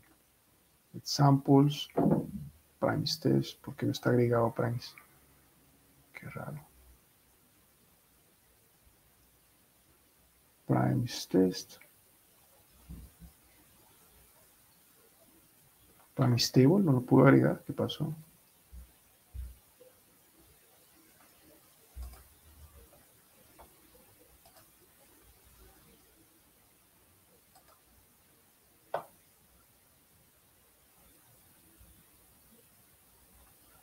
A ver qué ocurre acá. Que hay que sacarlo dos veces.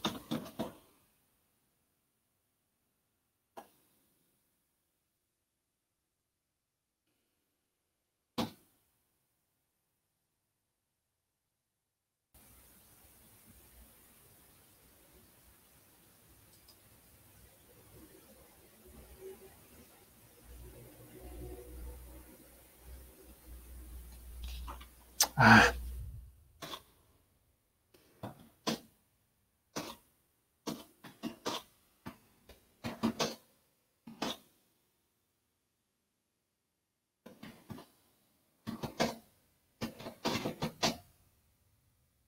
Listo.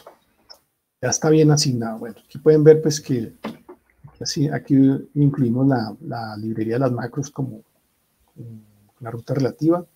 Vamos a, a, imprimir esa tablita, ¿no? Y ahorita les muestro cómo es que uno puede saber cómo se genera la macro. Entonces, aquí vamos a, vamos a definir dentro de este main la variable y vamos a usar la macro que hagamos de crear, prime steps stable, perdón. stable. Y vamos a generar números primos hasta el número, hemos dicho que 100. Esto nos va a generar un código fuente y vamos a imprimir todos esos primos. Entonces, aquí vamos a generar un código. Eh, imprimir todos los primos. Los primos vienen acá. Entonces, vamos a generar la tabla. Y pues ya sabemos que hay un nombre oculto que se llama, eh, por ahora está, es un número que es un nombre que le generamos a, mano, pero la próxima eh, vamos a agregarle un, parámetro adicional que indique el número de la tabla. Entonces, table primes, vamos a tener que ah, pues, buscarlo aquí totalmente. A ver, para todo elemento elemento in table frames. Table frames. Va a imprimir ese elemento. Entonces, print. Eh, bueno, vamos a, ah, vamos, a, ah, vamos a enumerarlo entonces. Eh, a ver cómo hacemos esto. Mejor así como un iterador. Iter, ¿sí, ven que lo detecta? ¿sí? Eh, iter, enumerate. Entonces, aquí vamos a hacer un for each. no sé si se acuerdan que hacer enumerate, pero creo que eh, mira, tuplas, vamos a mirar si tenemos una ayuda por ahí. For each. Entonces, esta función va a capturar esa tupla de enumerate. A ver qué nos hace tupla. Ah, sí, ven, aquí nos genera la tupla, muy chévere. Eh, esta tupla nos va a indicar, pues, una es el elemento y otra es el índice. Entonces vamos a imprimir el primo que es. Entonces, eh, el índice, valorcito y el valor. Entonces, tub 0, índice, el resto 1. Entonces, que nos imprima todos esos primos que pues hemos generado. A ver si nos corre esto. Todos los primos que van antes de 100. De pronto el código va a funcionar mal, muy probable porque lo hicimos ahí de forma improvisada y tenemos que luego depurarlo. No podemos depurar lo que hace una macro, esa es la cuestión. A ver si nos hace algo. Uy, bueno, no sé si alcanzan a ver. Como que sí está funcionando, miren, todos los primos, 2, 3, 5, 7, ¿sí los ven? Bueno, esto lo voy a subir ahorita al repositorio, pues que indiqué ahí en el, chat. Si quieren, lo, ahorita lo miramos, pero no creo que alcance a subirlo. Me toca ahorita eso de generar claves para GitHub. No creo que alcance a hacerlo ahorita. Son las 9 y 40. Digo, aquí pues, en Colombia son las 9 y 40 y en México deben ser las 8, 8 y 40. Eh, vamos ahora a mejorar este código para que el nombre de la variable no sea table prime, sino sea un nombre, un nombre que uno le pueda asignar directamente. Por ahora, ¿hay alguna pregunta?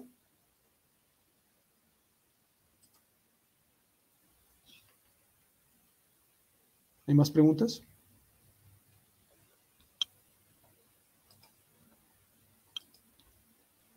Bueno, vamos a mirar porque aquí hemos hecho bastante código pues de este lado.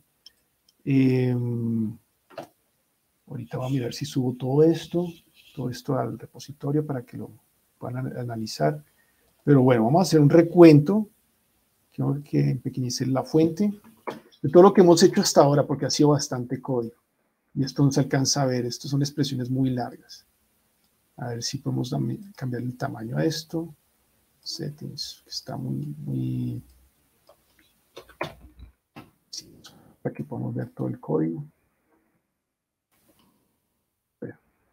Bueno, entonces, esta es la estructura del, de las carpetas. Aquí en Source no hemos puesto nada todavía porque esto ya es como el, bueno, eh, en esta parte no vamos a colocar nada, pero lo ideal es que uno cree una carpeta crates en estos proyectos donde agregue pues la carpeta de la macro y esta carpeta, muy importante, tiene esta sintaxis. Este crate, que es una librería de macros, debe tener esto, prog macro.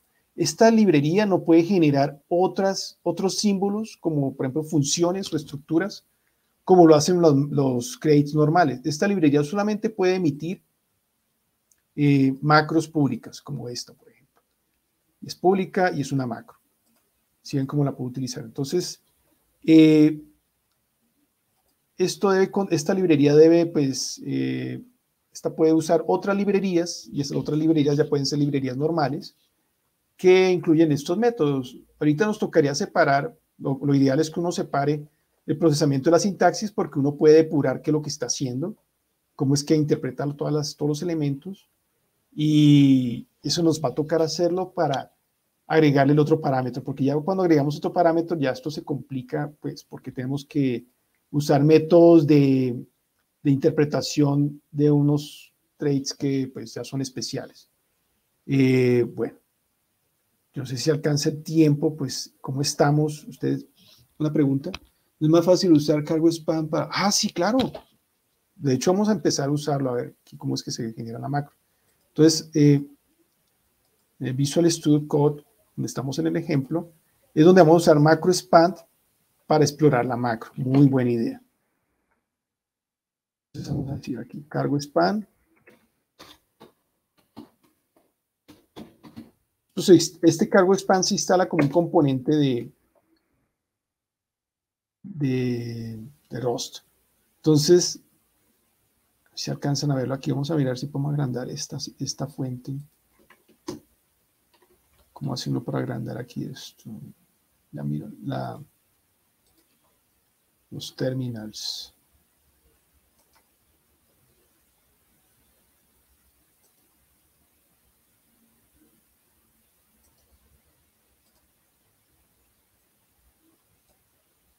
Pero si alcanzan a ver esto, por ejemplo, mira, esto que está acá, vamos a cambiarle el tamaño de los números, a ponerle uno más como 20. Here. A ver, settings, vamos a mirar que está. Workbench, window. La consola, ¿cómo hacemos para que se vea más ergonómica aplicación.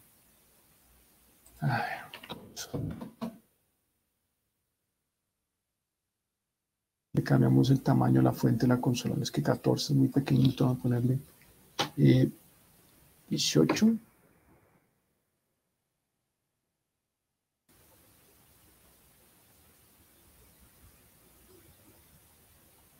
Listo. alcanza a mover bien. No hay forma de hacerle suma esto.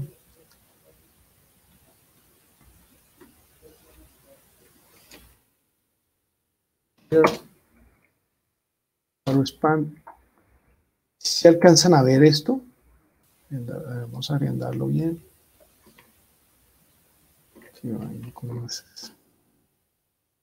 La fuente. Si ven cómo genera la macro esto?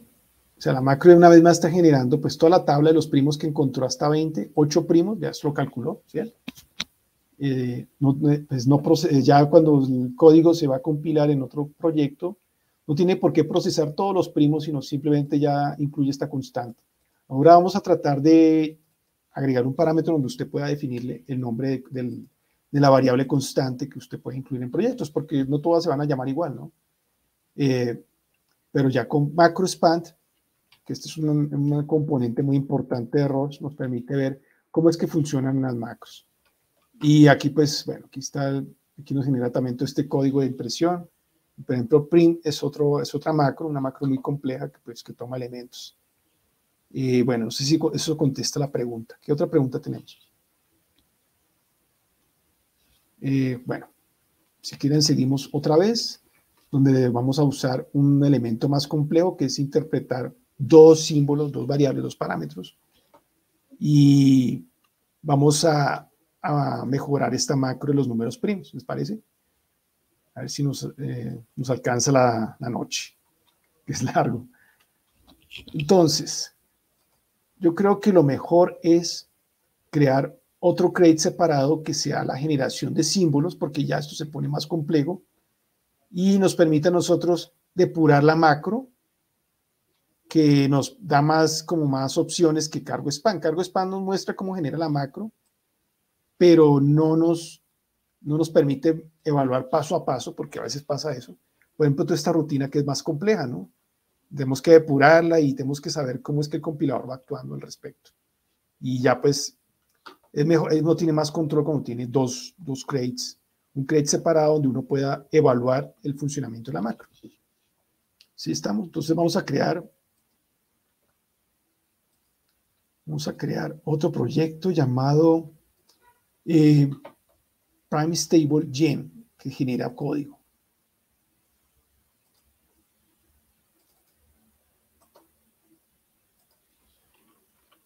A ver, vamos a ver. Cargo.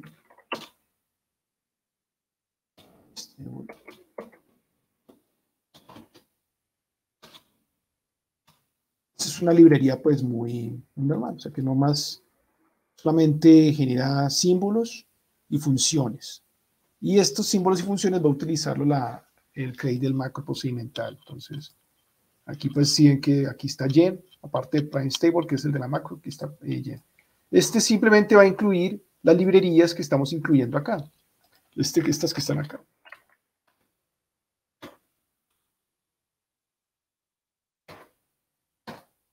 Bien, entonces esto es un módulo muy sencillo que va a tener sus funciones y va a poder ser utilizada por otro ejemplo que no tenga que ver nada con macro, sino es un ejemplo pues de demostración muy importante.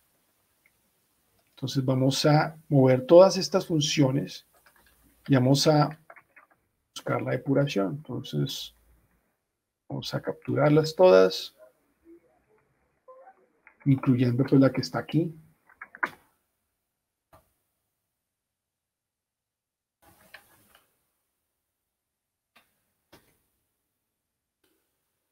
Bueno, por ahora no vamos a hacer pruebas, pero vamos a pues esto. Estas funciones pueden estar privadas, pero vamos a usar una función pública, que es la que podemos invocar desde otra, desde un, test de ejemplo. Eh, pues esta función va a ser la que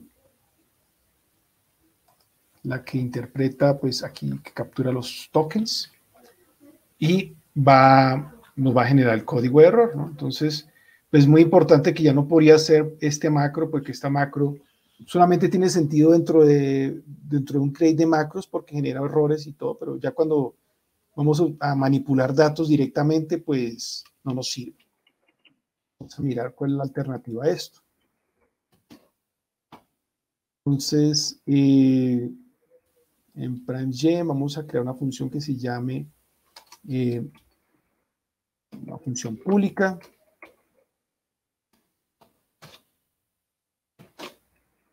Times eh, prime stable gem, así.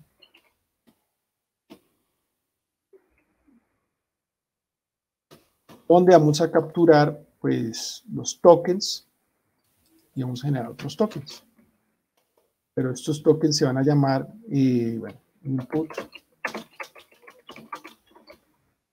stream y el output de este stream también. Entonces vamos a, esto no lo podemos usar acá, nos toca ya convertirlo directamente, ya con la, el método parse, parse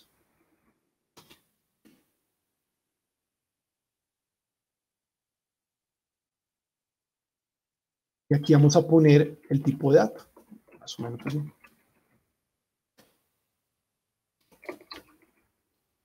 Creo que es PERS 2, 2. Y esto nos va a generar como un, resultado y ese resultado lo evaluamos si es correcto o no. Bueno, eso tiene su complejidad. Vamos a... No nos muestra nada porque esta, esta librería no la hemos incluido en el Workspace, muy importante. Tenemos que incluirla acá. Este ¿Listo? Ya nos arrojó bastantes errores, ya estamos viendo que está empezando a actuar. ¿Qué nos está diciendo? Pues que esto no se puede. Qué raro. Bueno, vamos a mirar qué pasa aquí. Este es un método de... A ver si... Ah, no, perdón, que estoy haciendo las cosas mal. Sí. ¿Qué pasa acá? Ah, claro. Ahora sí. Y aquí que nos arroja. Extraño, porque no nos... Bueno, hagámosle que, que compile esto.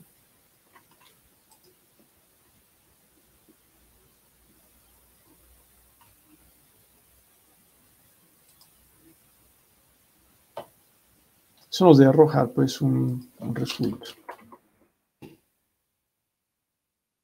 Entonces, aquí... Eh, Tenemos que capturarlo.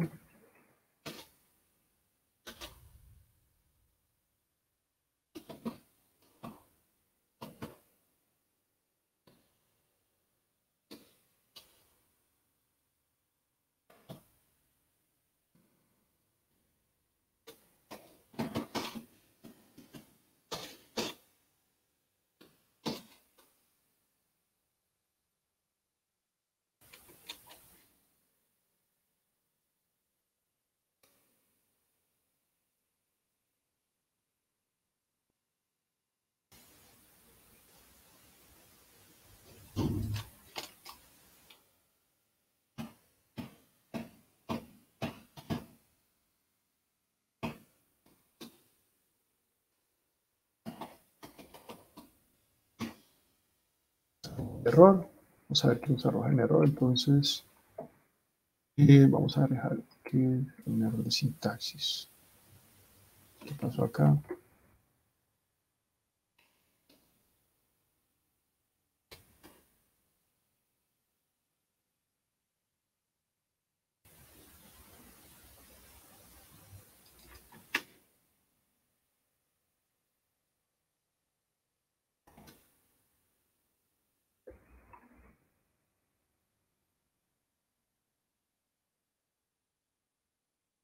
Esto.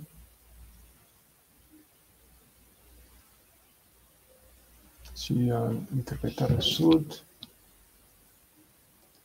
¿Qué pasó acá?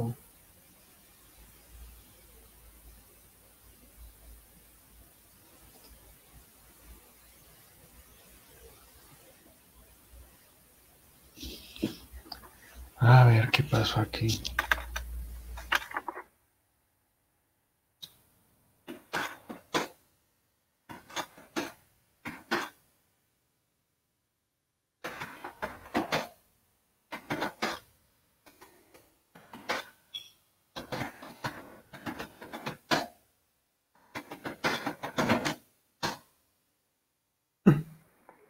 todos los errores del mundo. claro. Eh, ¿Qué pasó? ¿Qué nos incluye? A ver, acá.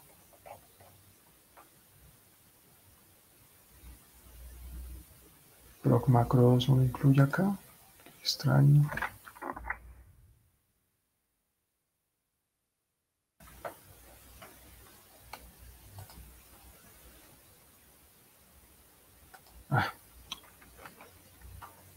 esto,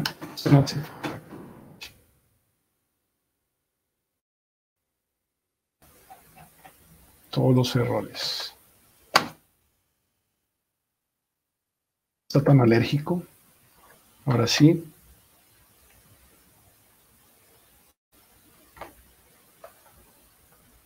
Bueno, ya me sacó menos errores. Es más sensato.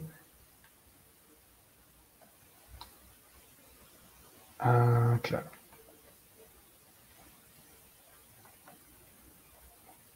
Bueno, a ver si me acuerdo cómo es esto del parse 2, que esto es muy importante.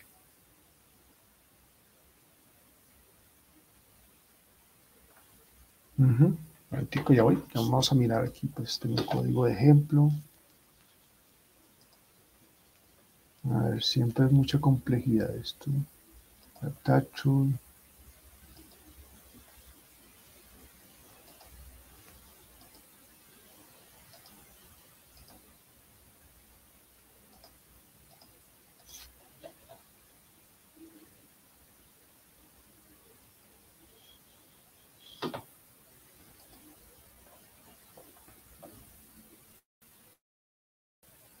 Ah, ya, ya me acuerdo cómo es, claro. Estoy haciendo las cosas mal. Sí. Sí, sí. Entonces, bueno, toca usar un método, un método llamado parse2. El nombre, el tipo de dato, y aquí le pasamos como parámetro el input. Ahora sí, claro, así se la detecta. detecta un resultado, claro. Sí, entonces es, esto es lo que hace la macro. Pero, ¿qué pasó acá?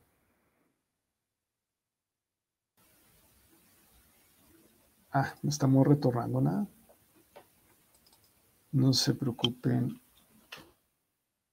dejarlo acá al final. Listo.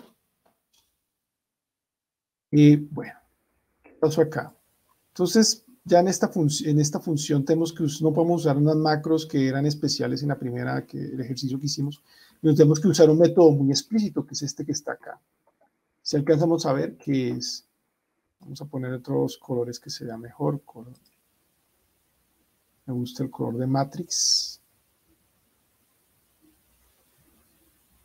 O Dark.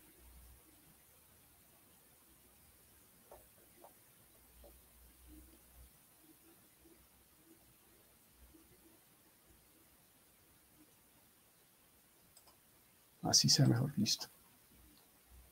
Bueno, mejor como lo teníamos antes, pero, eh, aquí estamos usando un método explícito que eh, toma esa, este parámetro genérico, si lo ven acá, y aquí empieza uno a mirar cómo es que funciona esto, ¿no? Entonces, él lo que hace es tomar este método y trata de emparejarlo con un, con un valor que va a interpretarse con los tokens. Entonces, este valor tiene que implementar en un trade bond, perdón, que está acá. Y aquí, por aquí está. Bueno, tiene que, mejor dicho, tiene que implementar un método, un trade que se llama parser. Y este método parser tiene que tener un método que indique pues, si el elemento ha sido procesado o no. Y bueno, esta fue la macro que usamos inicialmente, pero esto solamente puede usarse, usarse dentro de los procedur macro. Pero fuera de los procedur macro, ya esto no tiene sentido porque el error que genera no es compatible con la pues, el signature de la función. Tenemos que eh, utilizar los métodos más directos, que es eh, sin parse2. Y aquí tenemos que pues ya decirle qué tipo de dato es.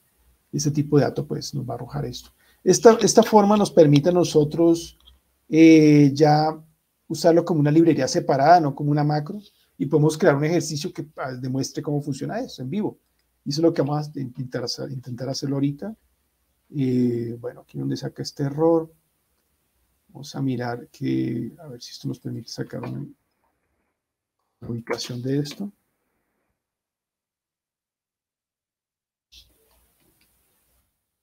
Hace uno para mostrar aquí el error, lo que no sé.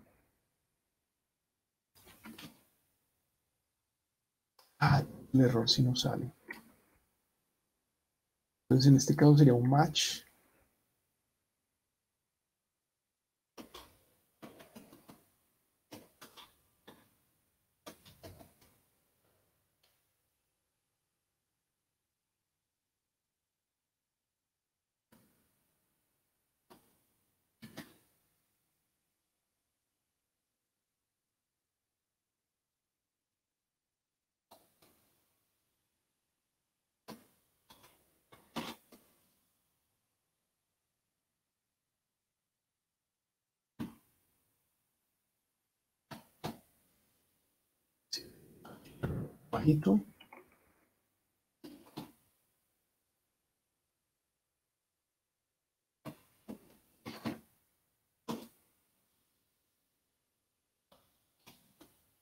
Y este error sí nos va a sacar pues, la ubicación, la línea de código y pues la columna donde ocurrió el error. Entonces esto nos permite a nosotros generar eh, mensajes de error muy, pues con más información pues para el compilador, porque quien, quien usa la función no va a tener idea de lo que está pasando, ¿no? Eso es un problema. ¿Es esto? Error. Bueno, ¿qué pasó acá? Ah, perdón. Ponemos esto. Ahora sí.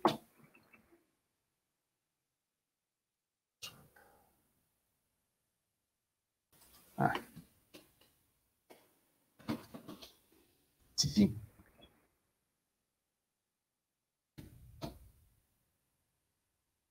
Bien, este error si tiene pues así tiene el spam y eh, aquí vamos a poder generar el mensaje. Por si tiene mensaje.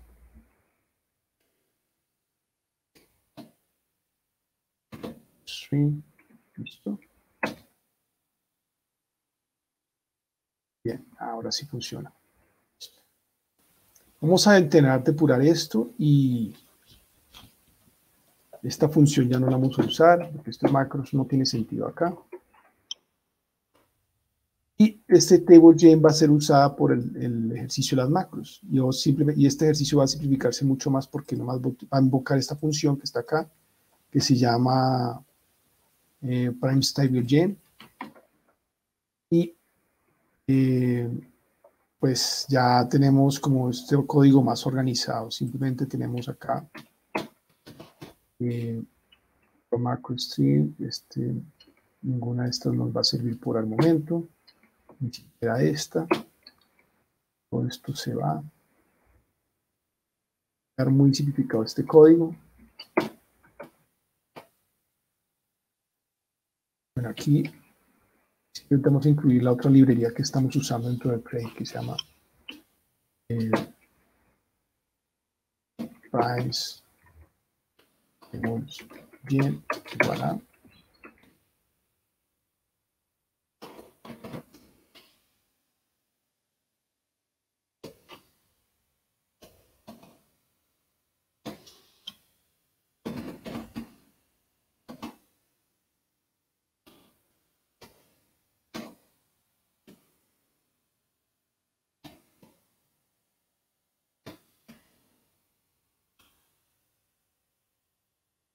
Debería estar funcionando. Bueno, aquí está sacando errores de todo tipo.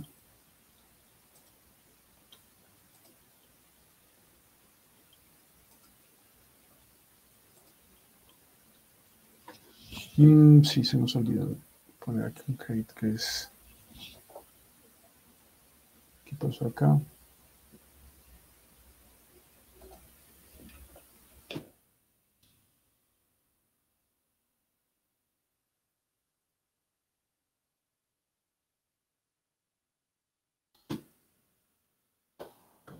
Agregar esto. Proc macros momento.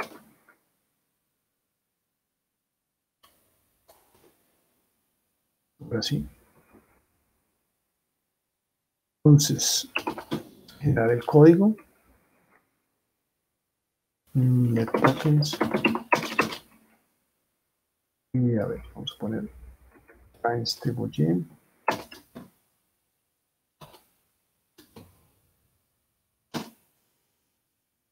input, lo vamos a convertir.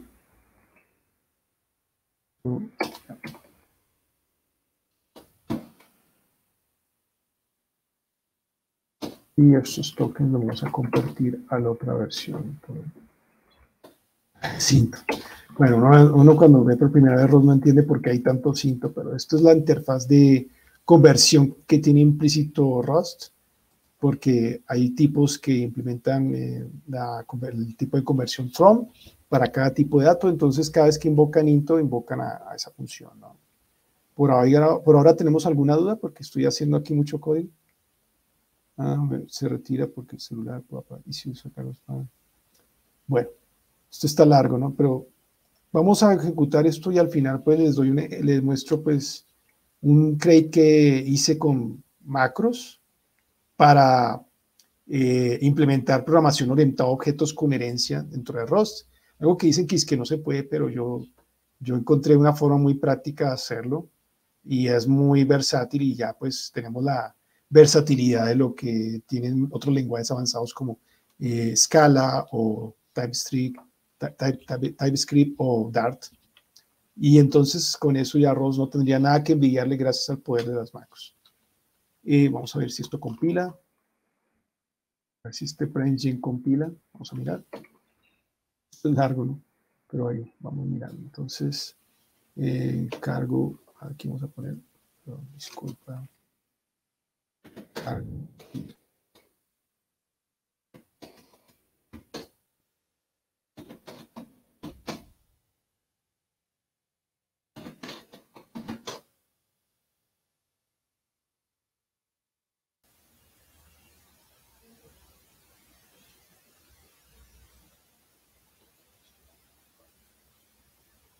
compiló. Ahora vamos a compilar la macro que está utilizando la librería, primes table.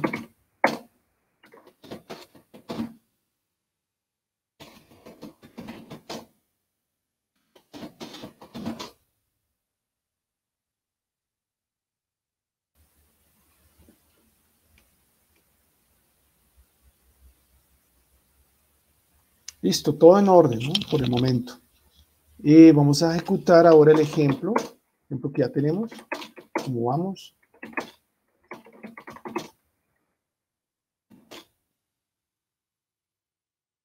Este ejemplo que está acá. Frame, print test,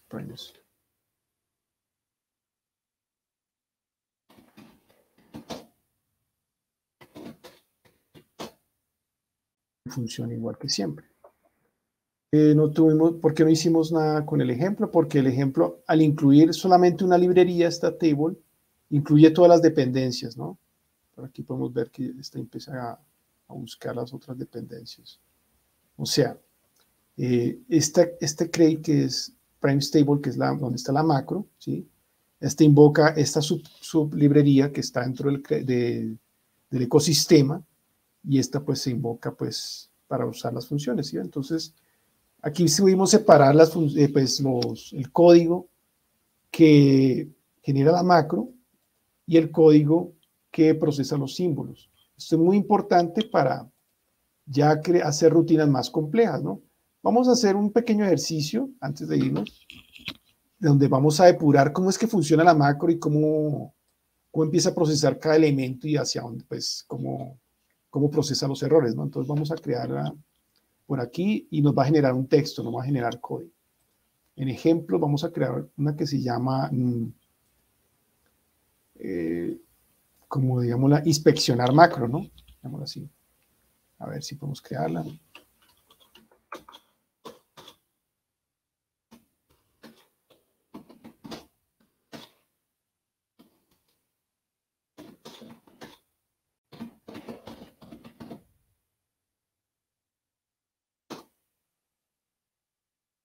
Ya que hemos creado eso, inspeccionar macro. Eh, bueno, aquí vamos a incluir en dependencias, no la, no la de macro, sino la de generación de, símbolos. Entonces, eh, siempre tenemos que poner eh, parecido a esto, pero se va a llamar Stable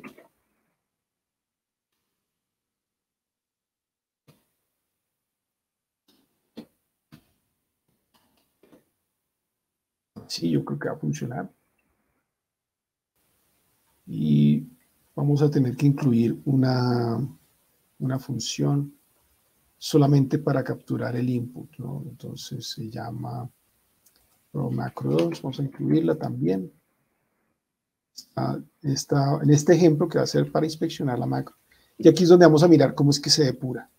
Es muy importante porque cuando uno está creando macros uno tiene que evaluar si la macro realmente está procesando la sintaxis porque hacia ciegas no nos va a funcionar en todos los casos. Es mucha suerte que nos funcionó, pero la primera vez que yo trabajé con las macros es, es difícil y uno no ve que no funciona, ve que no genera bien y entonces uno empieza a mirar por donde uno inspecciona la macro, cargo spam, hace un trabajo pues parcial, pero ya nos toca inspeccionar cómo opera la macro por dentro en el código en depuración. Entonces, bueno, aquí tenemos estos dos crates.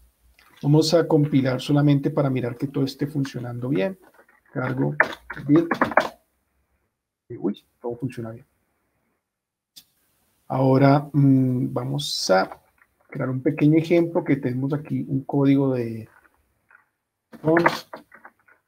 código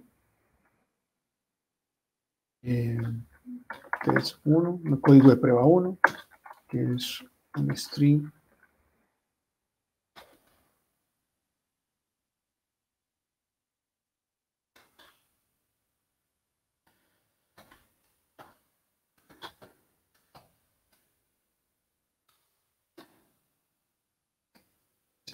código a ejecutar la macro.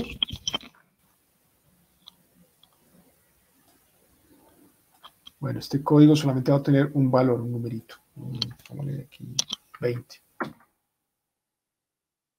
Y el otro código de ejemplo va a tener una letra, por ejemplo. ¿Qué pasa, no?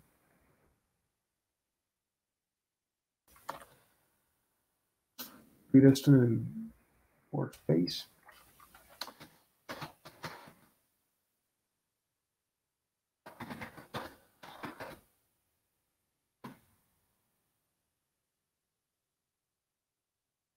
Ah, ¿qué dice mal?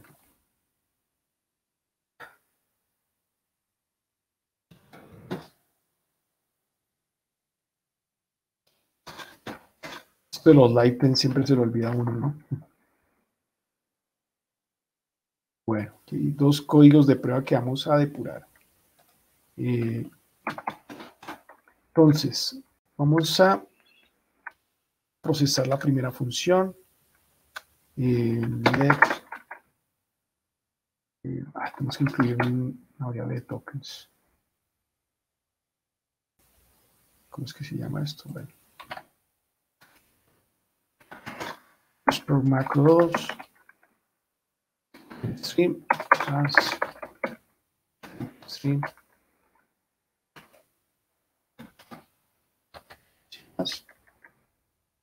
y vamos a convertir este código a token stream y esto lo vamos a procesar en, una, en un macro.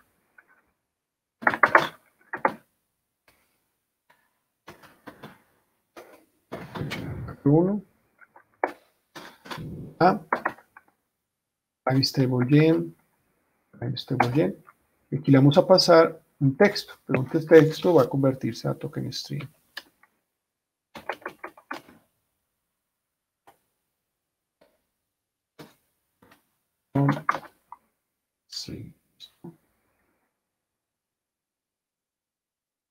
Ponemos el cortes 1.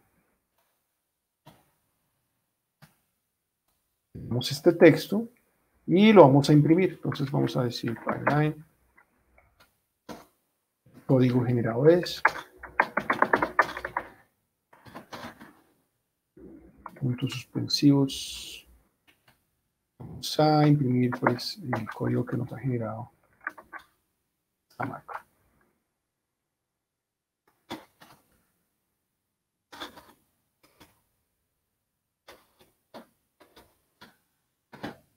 Convierte stream directamente. Perfecto.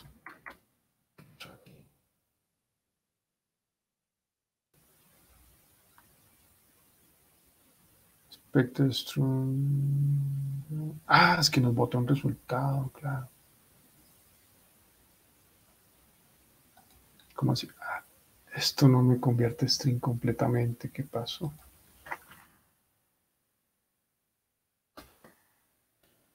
Bueno.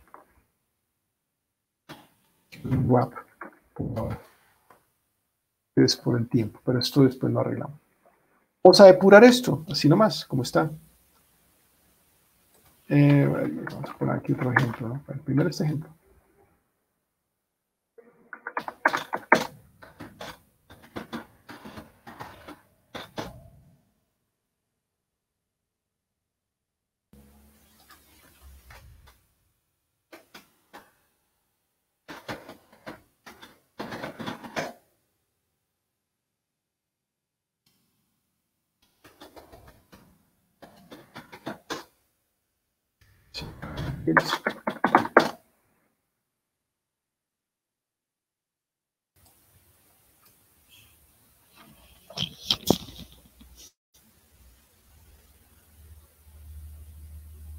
Muchos warnings. Bueno, hay warnings porque estamos usando variables, eh, estamos poniendo variables que no estamos usando, ¿no? Bueno, ¿hasta ahora alguna pregunta? ¿No? Bueno. Vamos a continuar. Hay preguntas, ok. Vamos a depurar, ahora sí, vamos a mirar cómo funciona esto por dentro. Y este, lo bueno de los procedure macros es que no puede eh, ya crear rutinas de generación de código muy, muy elaboradas que ya pueden incluso leer, leer de archivos eh, información, pueden hacer un procesamiento muy complejo, usar Tokio, usar eh, bases de datos incluso. Hay macros que usan bases de datos. Y por eso no nos sorprende que esta noticia de, de la librería SER haya generado controversia por incluir binarios, porque es una forma que ellos usaron para optimizar el código, pero bueno, eso es controversia, pero eso se puede. No puede cargar librerías DLLs, eh, librerías dinámicas, dentro de una macro procedimental y mientras el, el, compilador empieza a trabajar, pues está, está pues, leyendo de base de datos, está haciendo rutinas muy complejas para analizar el código. Esto es algo que se puede hacer con las macros y uno no se imagina que eso es posible. O sea, ROS es muy poderoso con el tema de las macros, por ese aspecto, ¿no? Entonces vamos a depurarlo como si fuera una aplicación normal. Ah, bueno, nos toca agregar aquí en el entorno de Windows una tarea de depuración. Vamos a agregar esta parte. A mí me toca hacerlo así en este entorno porque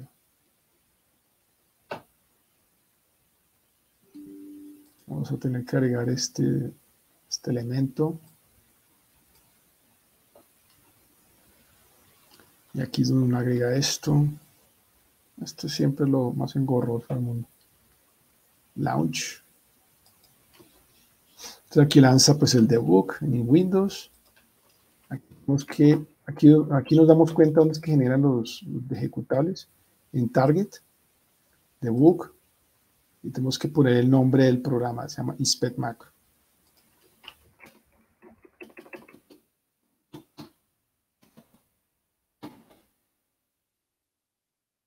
A llamar esto nombre que se llame book inspect ¿Listo? Es una tarea de depuración.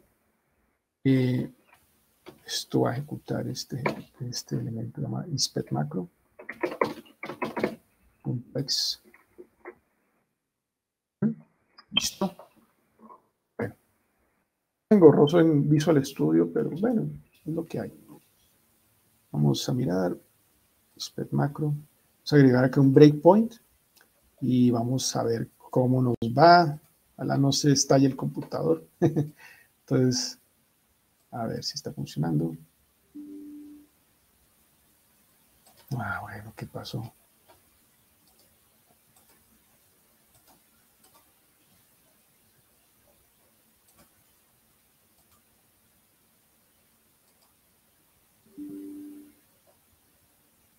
Ah, escribí algo mal. Inspect macro. No existe. ¿Qué será lo que hice mal? Vamos a ver. Cargo build. Ajá. Debe estar, ¿no? ¿Qué pasó? All space, target, debug. ¿Cuánto esto? Tengo Visual Studio en ese aspecto, pero bueno, es lo que hay. Ahora sí, debe funcionar.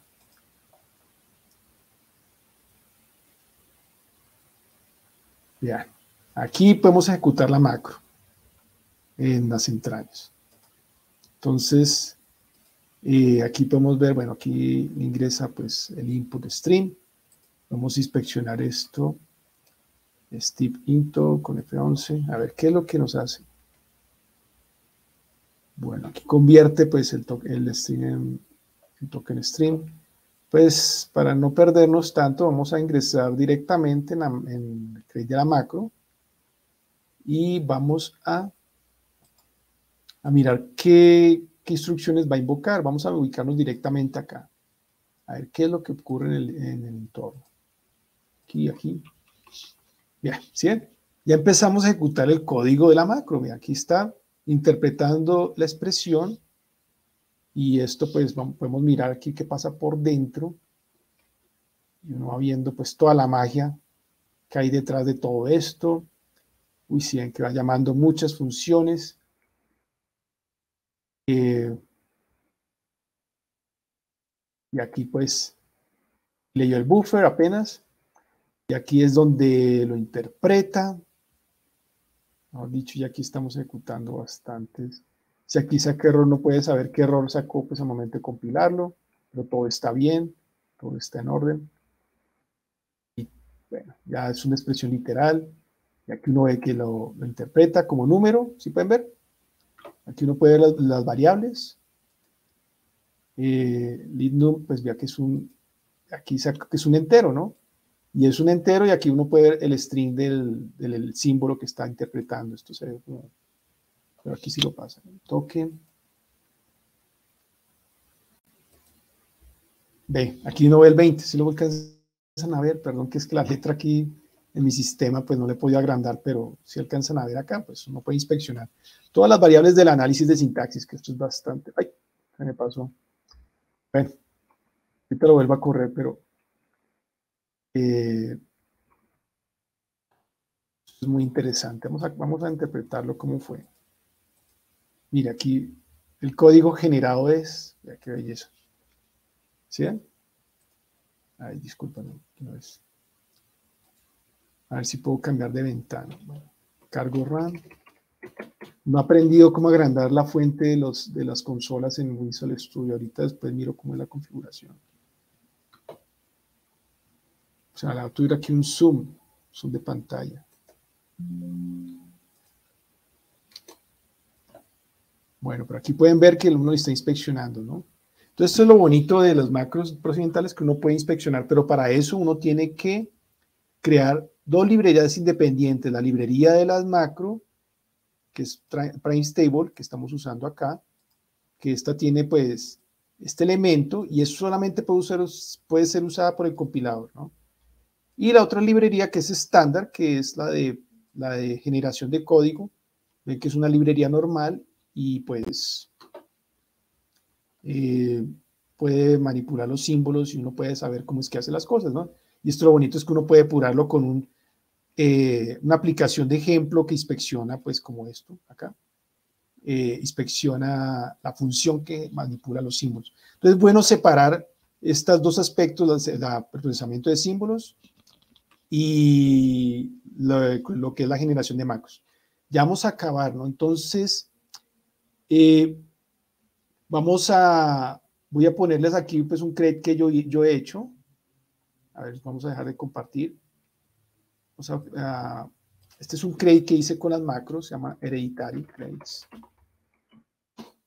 que permite manipular programación orientada a objetos dentro de macros, ¿no? Pues aquí ponemos este meme, pero esta es la frustración que enfrentan muchos programadores al momento de empezar ROS, que no hay herencia, no podemos heredar métodos y esto es muy engorroso pues reutilizar métodos, pero esta macro hereditaria usa eh, todo el poder de las macros para analizar los traits, analizar pues la, el signature de las funciones y el momento de, o sea, el momento de pues reutilizarla en una variable, en, aquí lo estoy utilizando en un, en un struct, yo heredo pues, bueno, utilizo el, el esta función de, de, que pues analiza pues eh, los elementos, por ejemplo, este perro que implementa Canis, aquí lo podemos decir, eh, extienda las funciones, ¿no?